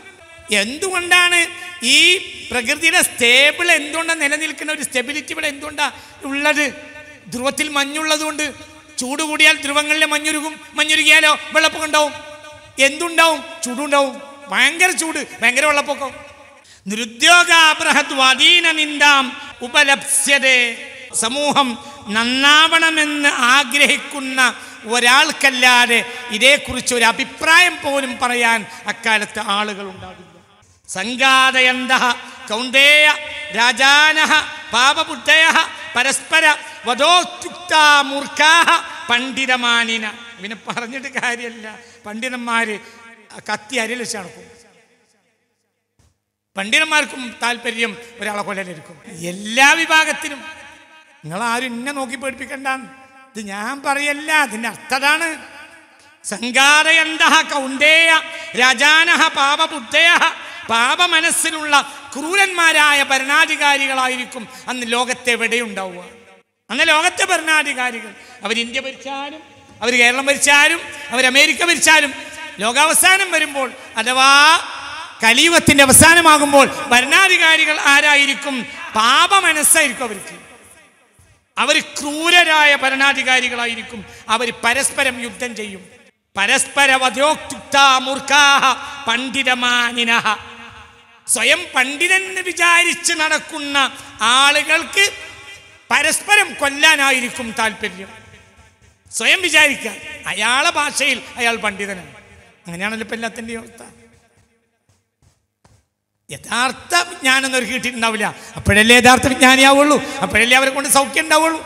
പരസ്പര വധോക്ത മൂർഖാഹ പണ്ഡിത മാനിനഹ അയാൾ അയാളെപ്പറ്റി വിചാരിക്കുന്നത് അയാൾ പണ്ഡിതനാണെന്നാണ്. എന്താ ആവശ്യം? അടുത്ത ആളെ കൊല്ലുക. സ്വയം പണ്ഡിതനാണെന്ന് വിചാരിച്ച് നടക്കുന്ന വിഡ്ഢികൾ പകവച്ച് പരസ്പരം കൊല്ലാനായി നടക്കും. ഭവിഷ്യന്റെ യുഗസ്യന്തേ ക്ഷത്രിയ ലോകകണ്ടകാഹ അവസാന കാലഘട്ടത്തിലെ ഭരണാധികാരികൾ ലോകത്തെ ഏതൊരാൾക്കും മുള്ളുമായുള്ള ബന്ധമാണ് അവർക്ക്. മുള്ളിന്റെ ബന്ധമായിരിക്കും. മുള്ളിനെ തൊട്ടാൽ എന്താവും? വേദനിക്കും. ഭരണാധികാരികളെടുത്ത വേദനിക്കും. മുള്ളായിരിക്കും. ഭരണാധികാരികൾ ലോകത്തെ ജനങ്ങൾക്ക് മുള്ളായിരിക്കും. അരക്ഷിതാരോ ലുബ്ധാശ മാനാഹങ്കാര ദർപ്പിതാഹ ഈ ഭരണാധികാരികൾ അരക്ഷിതാഹ ഒരാളെയും രക്ഷിക്കൂല. ഒരു ഭരണാധികാരിയും ഒരാളെയും രക്ഷിക്കുകയില്ല. അരക്ഷിതാഹ. ലുബ്ദാശ് അവർ ലുബ്ധന്മാരായിരിക്കും. അത്യാഗ്രഹികൾ വേറൊരാൾക്കൊന്നും കൊടുക്കില്ല. അവർക്ക് ഉണ്ടാക്കലായിരിക്കും അവരുടെ ലക്ഷ്യം. അത്യാഗ്രഹികളായിരിക്കും. പിന്നെയോ മാനാഹങ്കാര ദർപ്പിതാഹ സ്വന്തം അഹന്തയിൽ അഹങ്കരിച്ച് നടക്കും ഭരണാധികാരികൾ. കേവലം ദണ്ഡരുചയോ ഭവിഷ്യന്തി യുഗച്ഛേ കേവലം ദണ്ഡരുചയോ ദണ്ഡം മാത്രം ദണ്ഡനം മാത്രമാണ് അക്കാലത്ത് ഭരണാധികാരികളിൽ ലോകർ അനുഭവിക്കുക. കേവലം ദണ്ഡരുചയോ ദണ്ഡനമാണ് രുചിക്കുക. അവർ ജനങ്ങളെ ശിക്ഷിക്കുക മാത്രം ചെയ്യും. ആര്? ഭരണാധികാരികൾ ജനങ്ങളെ ശിക്ഷിക്കലായിരിക്കും അവരെ പരിപാടി. ഉപദ്രവിക്കുക. ഉപദ്രവിക്കൽ തന്നെ എല്ലാം ഉപദ്രവിക്കലല്ല ഉപദ്രവിക്കലല്ലാതെ എന്താണ്? ലോകത്തെ ഏറ്റവും വലിയ ഉപദ്രവം നികുതി കൂട്ടലാണ്. ഒരു ഭരണാധികാരി നന്നായാൽ നികുതി കുറയും. ഒരു ഭരണാധികാരി മോശമായാൽ നികുതി കൂടും. നികുതി കൂട്ടിയാൽ വിള കുറയും. ഫിസിക്കലും സ്പിരിച്വലുമായ കാരണങ്ങളുണ്ട്. ഒരു സാധനം നികുതി കൂട്ടിയാൽ ഉൽപ്പാദനം കുറയും. കാരണം എന്തുകൊണ്ട് ഓരോന്നിനും നികുതി വരുമ്പോൾ അതിന് ഉൽപ്പാദിപ്പിക്കാൻ കർഷകർക്ക് താല്പര്യം ഉണ്ടാവില്ല? കിട്ടുന്നതിന് നികുതി കൊടുത്താൽ നികുതി. ഓരോ വസ്തുക്കൾക്കും നികുതി കൂടുമ്പോൾ അതിന്റെ വില കൂടും. പരിശുദ്ധ ഹദീത്തുകളിൽ തന്നെ ഉള്ളതാണ് എന്ത്? നികുതി ഒരു ഭരണാധികാരി നികുതി കൂട്ടിയാൽ ആ നാട്ടിൽ അതാണ് വറക്കത്തെടുത്ത് കളയും വിള കുറയും. എന്തുകൊണ്ട് കർഷകർക്ക് വിളയിൽ താല്പര്യം ഉണ്ടാവില്ല? കാരണം എന്താ? നികുതി ഭാരം. കാരണം ഏറ്റവും കൂടുതൽ കുറഞ്ഞ വരുമാനമുള്ള ജനതയാണ് ആര്? കർഷകർ അവർക്ക് നികുതി കൂടിക്കഴിഞ്ഞാൽ പിന്നെ മുന്നോട്ട് പോകാൻ കഴിയില്ല. കേവലം ദണ്ഡരുചയോ ഭവിഷ്യന്റെ യുഗച്ഛേ ജനങ്ങളെ ബുദ്ധിമുട്ടിക്കലല്ലാത്തൊരു സംഗതി ഉണ്ടാവില്ല. അക്രമ്യാക്രമ്യ സാധൂനാം ധരാം ചെയ്വധരാണിച്ച അവസാന കാലഘട്ടത്തിലെ നേതാക്കന്മാർ സാധുക്കളായ ജനങ്ങളുടെ ഭാര്യമാരെയും ജനത്തെയും കൈവശപ്പെടുത്തും നേതാക്കന്മാർ. ഭരണാധികാരിയാവും അല്ലെങ്കിൽ നേതാവാവും. ആരാണെങ്കിലും. രണ്ട് കാര്യം സാധുക്കളിൽ നിന്ന് കൈവശപ്പെടുത്തും. ഒന്ന് അവരുടെ ഭാര്യമാരെ രണ്ട് സമ്പത്തിൽ. പൊച്ചന്റെ നിരനുക്രോശ സാധാരണ ജനങ്ങൾ ആക്രോശിച്ച് കരഞ്ഞാലും അതവരെ ബാധിക്കൂല. ഒരാളുടെ ഭാര്യ നേതാവിന്റെ കയ്യിലായിരിക്കും. ആരാണോ ജനങ്ങളെ രക്ഷിക്കേണ്ടത് ആ ആൾ അയാളുടെ ഭാര്യയെ കൈവശപ്പെടുത്തും. മഹാഭാരതത്തിൽ നിന്നാണ് ഞാൻ വായിക്കുന്നത്. ഇതങ്ങനെ തന്നെ ഇതിന് തല്യമാ തുല്യമായ എത്രയോ ഹദീസുകൾ കാണും പ്രസാദൽ ഖബീലത്തെ ഫാസിഖുഹും ഒരു ജനതയുടെ നേതാവ് ആ ജനതയിലെ ഫാസിഖായിരിക്കും. ജാനി ഒരു ജനതക്ക് നേതാവായി വരിക ആരാ? ആ ജനതയിലെ വ്യഭിചാരി. മോന്റെ അടുത്തേക്ക് ഒരു ആണിനോ പെണ്ണിനോ പോകാൻ പറ്റൂല. അങ്ങനെ തന്നെയല്ലേ പോയാലോ? മര്യാദയ്ക്ക് തിരിച്ചയക്കൂല. ആ പെണ്ണിനും കൈവശപ്പെടുത്തും. ചില വിഷയങ്ങളുണ്ട്. ആ വിഷയങ്ങളിലേക്ക് പെണ്ണിനെ ഒറ്റ കുറഞ്ഞേക്കാൻ പറ്റില്ല അനവധി വിഷയങ്ങളുണ്ട്. സ്വാഭാവികമായും ജനങ്ങൾ ഇടപെടുന്ന പല കാര്യങ്ങളുണ്ട്. ആ കാര്യങ്ങൾ ലൈംഗിക അതിക്രമങ്ങൾ കൂടുതലാണ് ഇന്ന്. ഒന്ന് നേതാക്കന്മാർ. രണ്ട് നമ്മൾ സാധാരണ ബന്ധപ്പെടുന്ന ചില വിഷയങ്ങൾ. ചികിത്സ. അത് ആത്മീയ ചികിത്സയാണെങ്കിലും വേണ്ടില്ല. ഇനി അല്ലാതെ ഇംഗ്ലീഷ് ചികിത്സയാണെങ്കിലും നല്ല പെണ്ണൊറ്റക്ക് ചികിത്സാരുടെ അടുത്ത് പോകാൻ പാടില്ലാത്തതാണ്. എല്ലാ ചികിത്സാലും മോശമാണോ? അല്ല. പക്ഷേ പിഴക്കാൻ സാധ്യത കൂടുതലുള്ള ഏരിയയാണ്. കാരണം ആത്മീയ ചികിത്സയിൽ തൊണ്ണൂറ് ശതമാനവും ഉള്ളത് തട്ടിപ്പാണ്. തന്നെ തട്ടിപ്പ.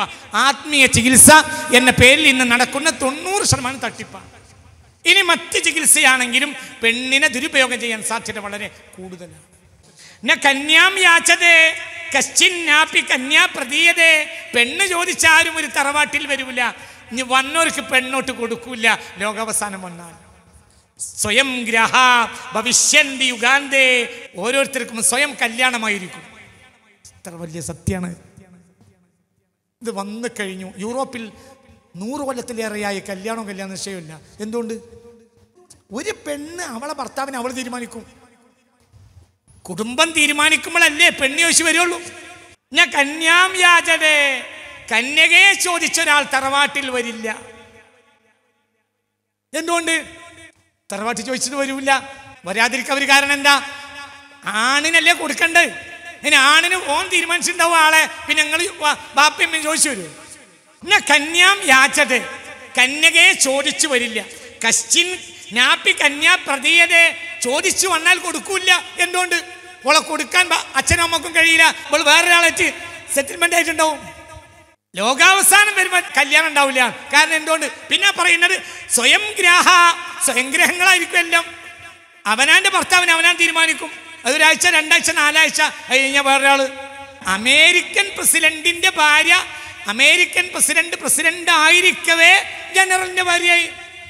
ഇനി അതിപ്പോ ഭാര്യയാവോ? ഉണ്ടാവില്ല. അതതിന്റെ ആരംഭ ശൂരത്വം കഴിഞ്ഞ് വേറൊരാളപ്പം പോയിട്ടുണ്ടാവും. അതുകൊണ്ട് ചോദിച്ചു വരൽ എന്ന പരിപാടി അവസാന കാലത്ത് ഉണ്ടാവില്ല. നമ്മളെ നാട്ടിൽ ഇല്ലാതായി ഇല്ലാതായി ഇല്ലാതായി വരികയാണ്. ഇത് തുറന്നു പറയാൻ ആയിരക്കണക്കായ പെൺകുട്ടികളെ ടോക്സ് ഇന്ന് സോഷ്യൽ മീഡിയ കിട്ടും. ഞങ്ങളെ കാര്യം ഞങ്ങൾ തീരുമാനിക്കും. ഒരു പെണ്ണ് പെണ്ണിനെ കിട്ടി. എന്താ പറഞ്ഞത് ഒരാളുടെ ജീവിത സഖി ആരാ തീരുമാനിക്കേണ്ടത് അയാളല്ലേ? അതിൽ കുടുംബത്തിന് എന്താ അധികാരമുള്ളത്? അതാ പറഞ്ഞ കന്യാം യാജതേ പെണ്ണ് ചോദിച്ചാരും വരില്ല. വന്നാലോ? കശ്ചിൻ ഞാപ്പി കന്യാ പ്രതീയതേ ചോദിച്ചാലോട്ട് കൊടുക്കൂല അവസാന കാലഘട്ടമാകുമ്പോൾ സ്വയം വിവാഹങ്ങൾ മാത്രമാണ് രാജാനശാപ്പ് അസന്തുഷ്ടാഹ പരാർത്ഥൻ മൂഢചേതസാ. സർവോപായൻ ഹരിഷ്യന്തി യുഗാന്തേ പര്യുപസ്ഥിതേ ഉന്നത ഭരണാധികാരികൾ പോലും മറ്റുള്ളവരുടെ മേൽ വ്യാമോഹികളായിരിക്കും. അവർ വ്യാകുല മനസ്കർ ഒരു മനസമാധാനവും ഭരണാധികാരികൾക്ക് പോലും ഉണ്ടാവില്ല. സ്ഥവിര ബാല ബുദ്ധയ. വയസ്സന്മാർക്ക് ബാല്യക്കാര സ്വഭാവമായിരിക്കും വികൃതി. അവസാന കാലാകുമ്പോൾ സ്ഥവിര വയസ്സന്മാർക്ക് ബാലമതയോ ബാലാഹസ്തവിദ്യ ബുദ്ധയ. യുവാക്കൾക്കോ പഴകിയ ബുദ്ധിയെ തലയിൽ വരുള്ളൂ. അനാവശ്യം മാത്രമേ യുവാക്കൾക്ക് തലയിൽ ഉടിക്കുള്ളൂ വയസ്സന്മാർക്കോ വികൃതിയായിരിക്കും. അങ്ങനല്ലേ? ഇത്ര പോണ ഫോണില്ലാത്ത ഏത് വയസ്സനാണുള്ളത്? എന്താ വയസ്സന്മാർക്ക് പണി? ഇതൊക്കെ വികൃതിയല്ലേ? രണ്ട് കൂട്ടരാണ് അഭിശബ്ദമായ ലൈംഗികതക്ക് വശംവതരായതാണ് പുതിയ റിപ്പോർട്ട് ഒന്ന് വിവാഹത്തിലേക്ക് പോകാത്ത കൗമാരക്കാർ. രണ്ട് അമ്പത് കഴിഞ്ഞ വയസ്സന്മാർ. രണ്ട് കൂട്ടരും ലൈംഗികതയിൽ അടിമകളാണ്. വയസ്സന്മാർക്ക് വികൃതിയായിരിക്കും. യുവാക്കൾക്കോ അനാവശ്യ ബുദ്ധിയായിരിക്കും. ഏകാഹാര്യം ജഗത് സർവം ലാഭമോഹവിസ്ഥിരം അധർമ്മോ വർദ്ധതി അധർമ്മോ വർദ്ധതി മഹാൻ നച ധർമ്മ പ്രവർത്തതേ. ലോകം മുഴുവനും അത്യാഗ്രഹത്തിന്റെയും പച്ചയായി അത്യാഗ്രഹത്തിന്റെയും വ്യാമോഹത്തിന്റെയും വക്താക്കളാവും. രണ്ടാമത്തെ വരി ഏറ്റവും പ്രധാനം. ധർമ്മോവർദ്ധതി മതങ്ങൾ പെരുകിക്കൊണ്ടേയിരിക്കും മതസംഘടനകളും. മഹാന്നച്ച ധർമ്മ പ്രവർത്തനെ ധർമ്മം ആരും പ്രവർത്തിക്കൂല.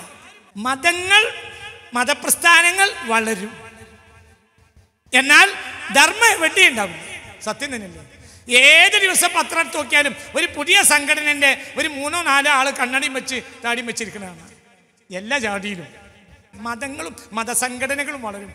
മതത്തിനൊരു ഉള്ളുണ്ട്. അതെന്താ?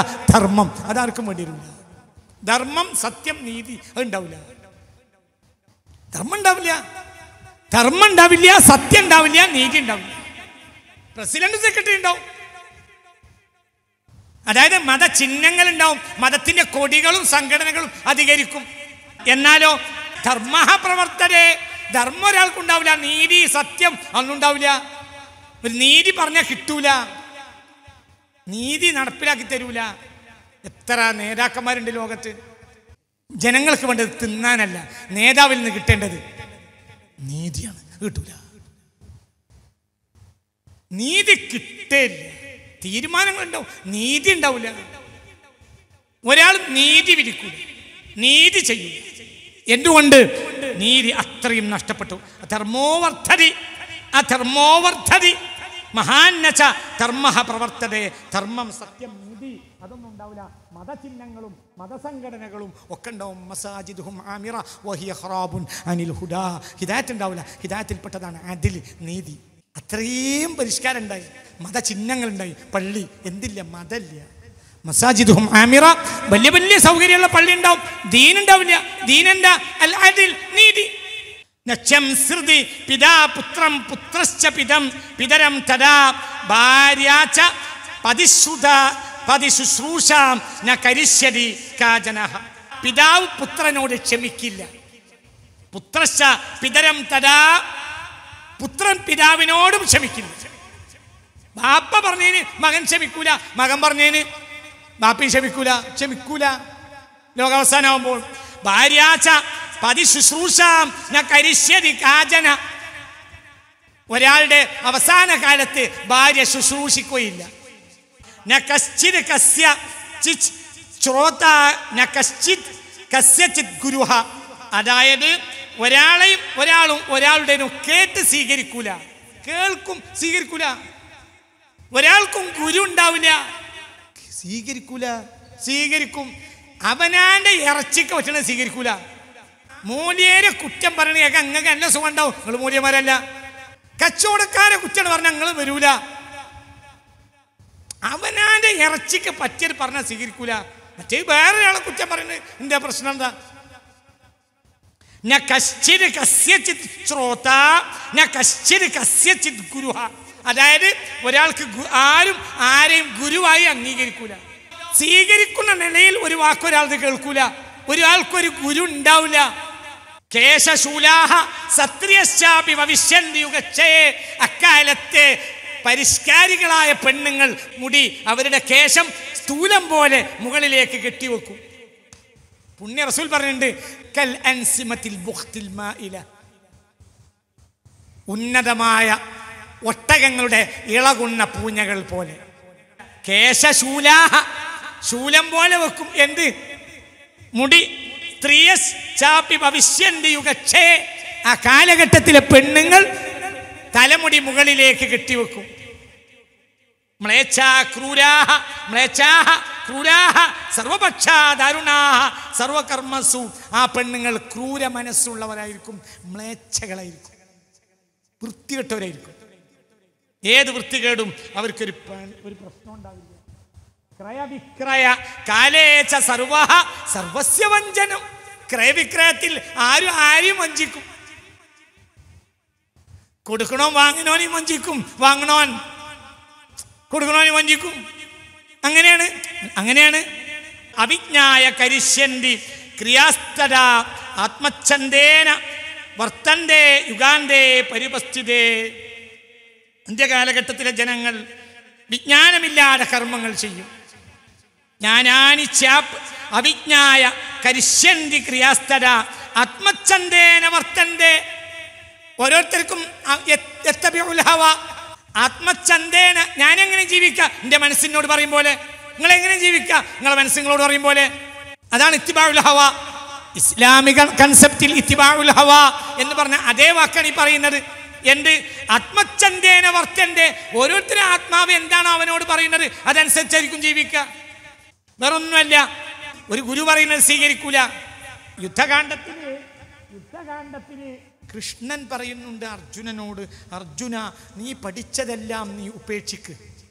എന്നിട്ട് ഞാൻ പറയുന്നത് സ്വീകരിക്ക്. ഏകദേശം തസൂഫ. തസൂഫിൽ ഗുരുക്കൾ ശിഷ്യന്മാരോട് പറയാ നീ പഠിച്ചൊക്കെ ഒഴിവാക്കുക. ഞാൻ പറഞ്ഞത് സ്വീകരിക്കുക.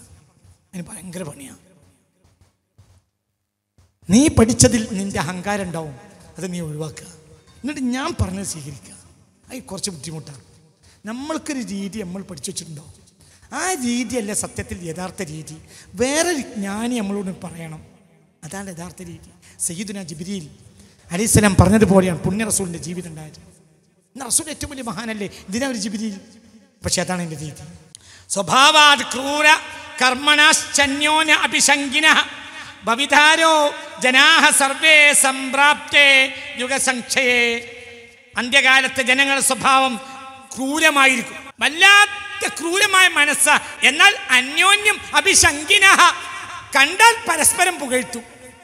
റസൂൽ പറയുന്നുണ്ട് യത്തമാദഹൂന അവർ പരസ്പരം പുകഴ്ത്തു. തിരിഞ്ഞറിഞ്ഞാലോ തിരിഞ്ഞാലോ? ക്രൂരമായ മനസ്സ. എന്നാൽ അന്യോന്യം അഭിശങ്കിന തമ്മിൽ തന്നിൽ കണ്ടാൽ ഭയങ്കര പുകഴ്ത്തു. ആരാമാംശ ചൈവ വൃക്ഷാംശ നാശയിഷ്യന്തി നിർവിതാഹ തോട്ടങ്ങളും വൃക്ഷങ്ങളും നശിപ്പിച്ച് കളയാൻ ഒരു മാനസിക വ്യഥയും ആ കാലഘട്ടത്തിലെ പരിഷ്കാരികളായ ജനങ്ങൾക്ക് ഉണ്ടാകില്ല. മുറിച്ച് അങ്ങനെ തള്ളും. തോട്ടങ്ങൾ മുറിക്കും വൃക്ഷങ്ങൾ മുറിക്കും. അതിനൊന്നൊരു വിഷമം ഉണ്ടാവില്ല. ഭൂമിയിലെ പച്ചപ്പൊക്കെ പോയാലും അവർക്കൊന്നും അവരെ അവരുടെ പരിഷ്കാരങ്ങളും അവരുടെ സൗകര്യങ്ങളും നടക്കണം എന്നല്ലാതെ ഒരു താല്പര്യവും അവർക്കുണ്ടാവില്ല. പവിതാ സംക്ഷയോ ലോകേ ജീവിതസ്യ ദേഹിനാം. ആരാധനകൾ ചെയ്യും. പക്ഷെ ദൈവം ഉണ്ടോ എന്നുള്ള കാര്യത്തിൽ സംശയമായിരിക്കും. ആരാധന ഉള്ളവർക്ക് പോലും ആരും ദൈവത്തിൽ ഉറപ്പുണ്ടാവില്ല. ദൈവത്തിന് ഉറപ്പുണ്ടാവില്ല. എല്ലാ നിരീശ്വരവാദികൾക്കും പിന്നാലെ വേണ്ടതൊക്കെ ചെയ്തു കൊടുക്കും. പക്ഷേ ഉള്ളിൽ എന്തില്ല? അള്ളാഹു വിശ്വാസമല്ല. പഠിച്ചോൻ ദൈവത്തിൽ വിശ്വാസം ഉണ്ടാവില്ല. ബ്രഹ്മാവിൽ വിശ്വാസം ഉണ്ടാവില്ല. ഹിന്ദുവിന് അള്ളാഹു വിശ്വാസം ഉണ്ടാവില്ല. മുസ്ലിമിന് കർത്താവിൽ യഹോബയിൽ വിശ്വാസം ഉണ്ടാവില്ല. ക്രിസ്ത്യാനിക്ക്. എന്നാ കർമ്മല്ലേ കർമ്മം ചെയ്യും. ഒക്കെ ചെയ്യും. കർമ്മങ്ങളൊക്കെ ചെയ്യും. കർമ്മം ചെയ്യുന്നവർക്ക് പോലും ലോകാവസാനം അടുത്തു കഴിഞ്ഞാൽ ദൈവത്തിൽ വിശ്വാസം ഉണ്ടാവും അതൊക്കെ കർമ്മം. അത്രേ ഉണ്ടാവുള്ളൂ.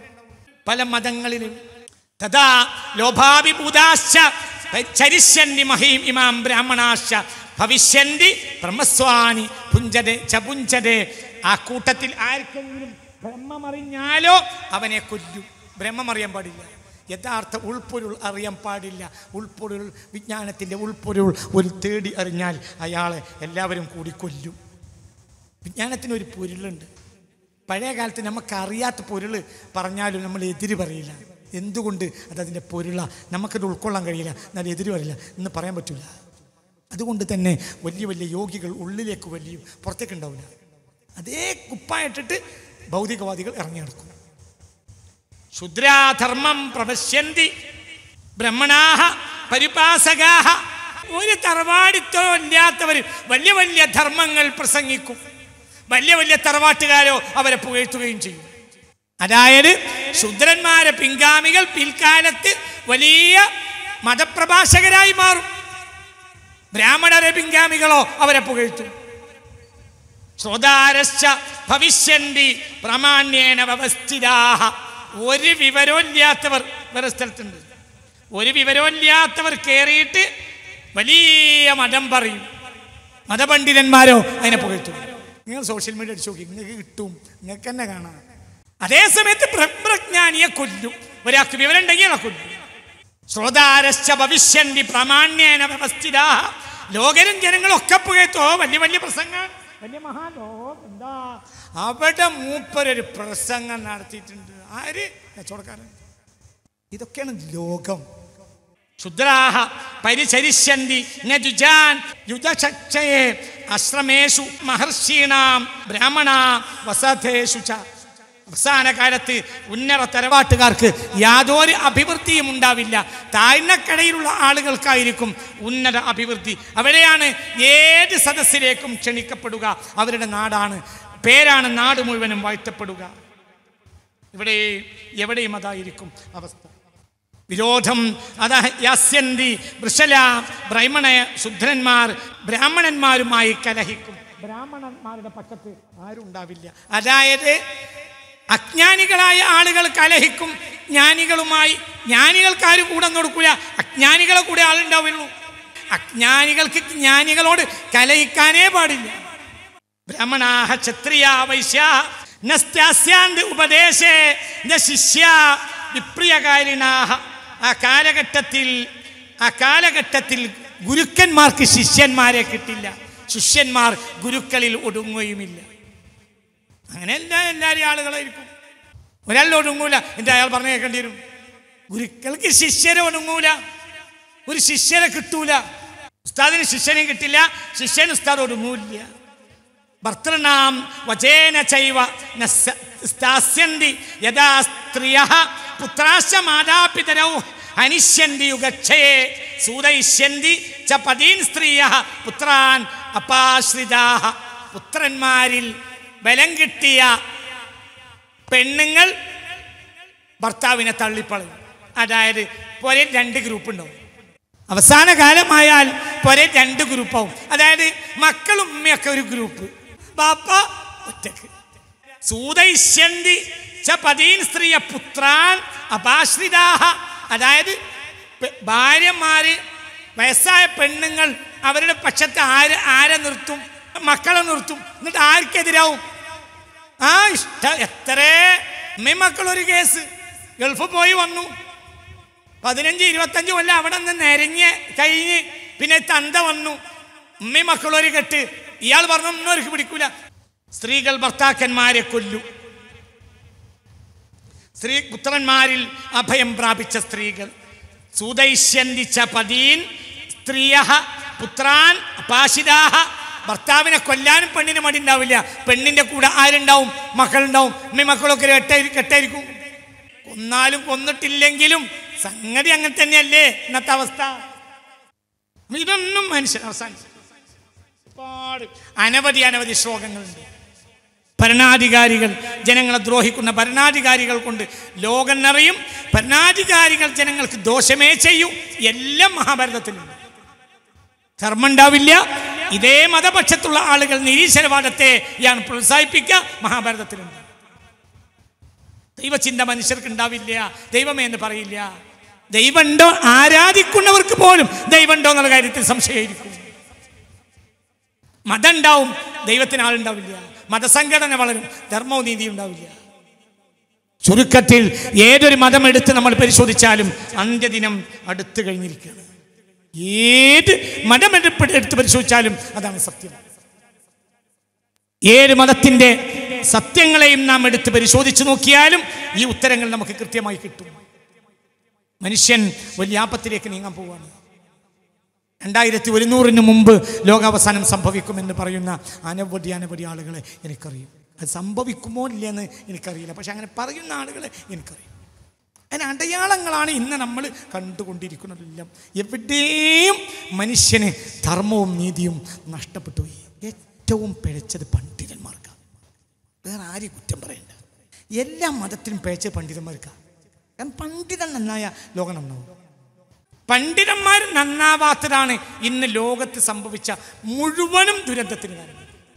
എല്ലാ മതത്തിനും പിഴച്ചത് പണ്ഡിതന്മാർക്ക് മാത്രമാണ്. വേറെ നാട്ടുകാരെ വെറുതെ കുറ്റം പറയാ. നിഴലിനെ എന്തിനാ കുറ്റം പറയണത്? നാട്ടക്കല്ലേ പ്രശ്നം. ജനം എപ്പോഴും നാട്ടയുടെ നിഴൽ പോലെയാണ് പണ്ഡിതന്റെ നിഴലാണ് ലോകത്തെ മൊത്തം ജനങ്ങളും.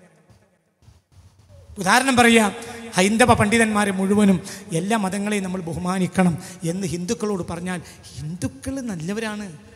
നന്മ തുടരും. ലോകത്തെ ഏറ്റവും നന്മയുള്ള ഒരു സംസ്കാരത്തിൽപ്പെട്ടതാണ് ഹൈന്ദവ സംസ്കാരം.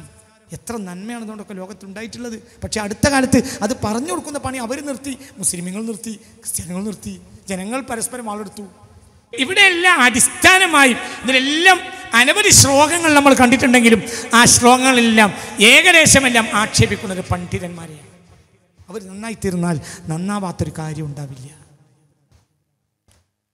സമൂഹം ഗൗരവമായി ചിന്തിക്കണം എന്ന നിലയിലാണ് ഈ വിജ്ഞാന സ്രോതസ് ഞാൻ സമൂഹത്തിന്റെ മുന്നിൽ സമർപ്പിക്കുകയാണ്. എന്റെ വാക്കുകളും മറ്റുമൊക്കെ ഞാൻ അത്ര വലിയൊരു സംസ്കൃത പണ്ഡിതനല്ല വളരെ കഷ്ടപ്പെട്ടാണ് സംസ്കൃതം പഠിക്കുന്നത്. ഈ വർഷം ഒരുപാട് സംസ്കൃതവുമായി ബന്ധപ്പെട്ട കാര്യങ്ങൾ പഠിക്കേണ്ടത് വന്നു. വിഷ്ണു പുരാണം ഞാൻ പറഞ്ഞില്ലേ വിഷ്ണു പുരാണമൊക്കെ വലിയ അത്ഭുതകരമായ വിജ്ഞാനങ്ങൾ എന്റെ മുന്നിൽ തന്നിട്ടുണ്ട്. ഞാനത് പിന്നീട് പറയാം.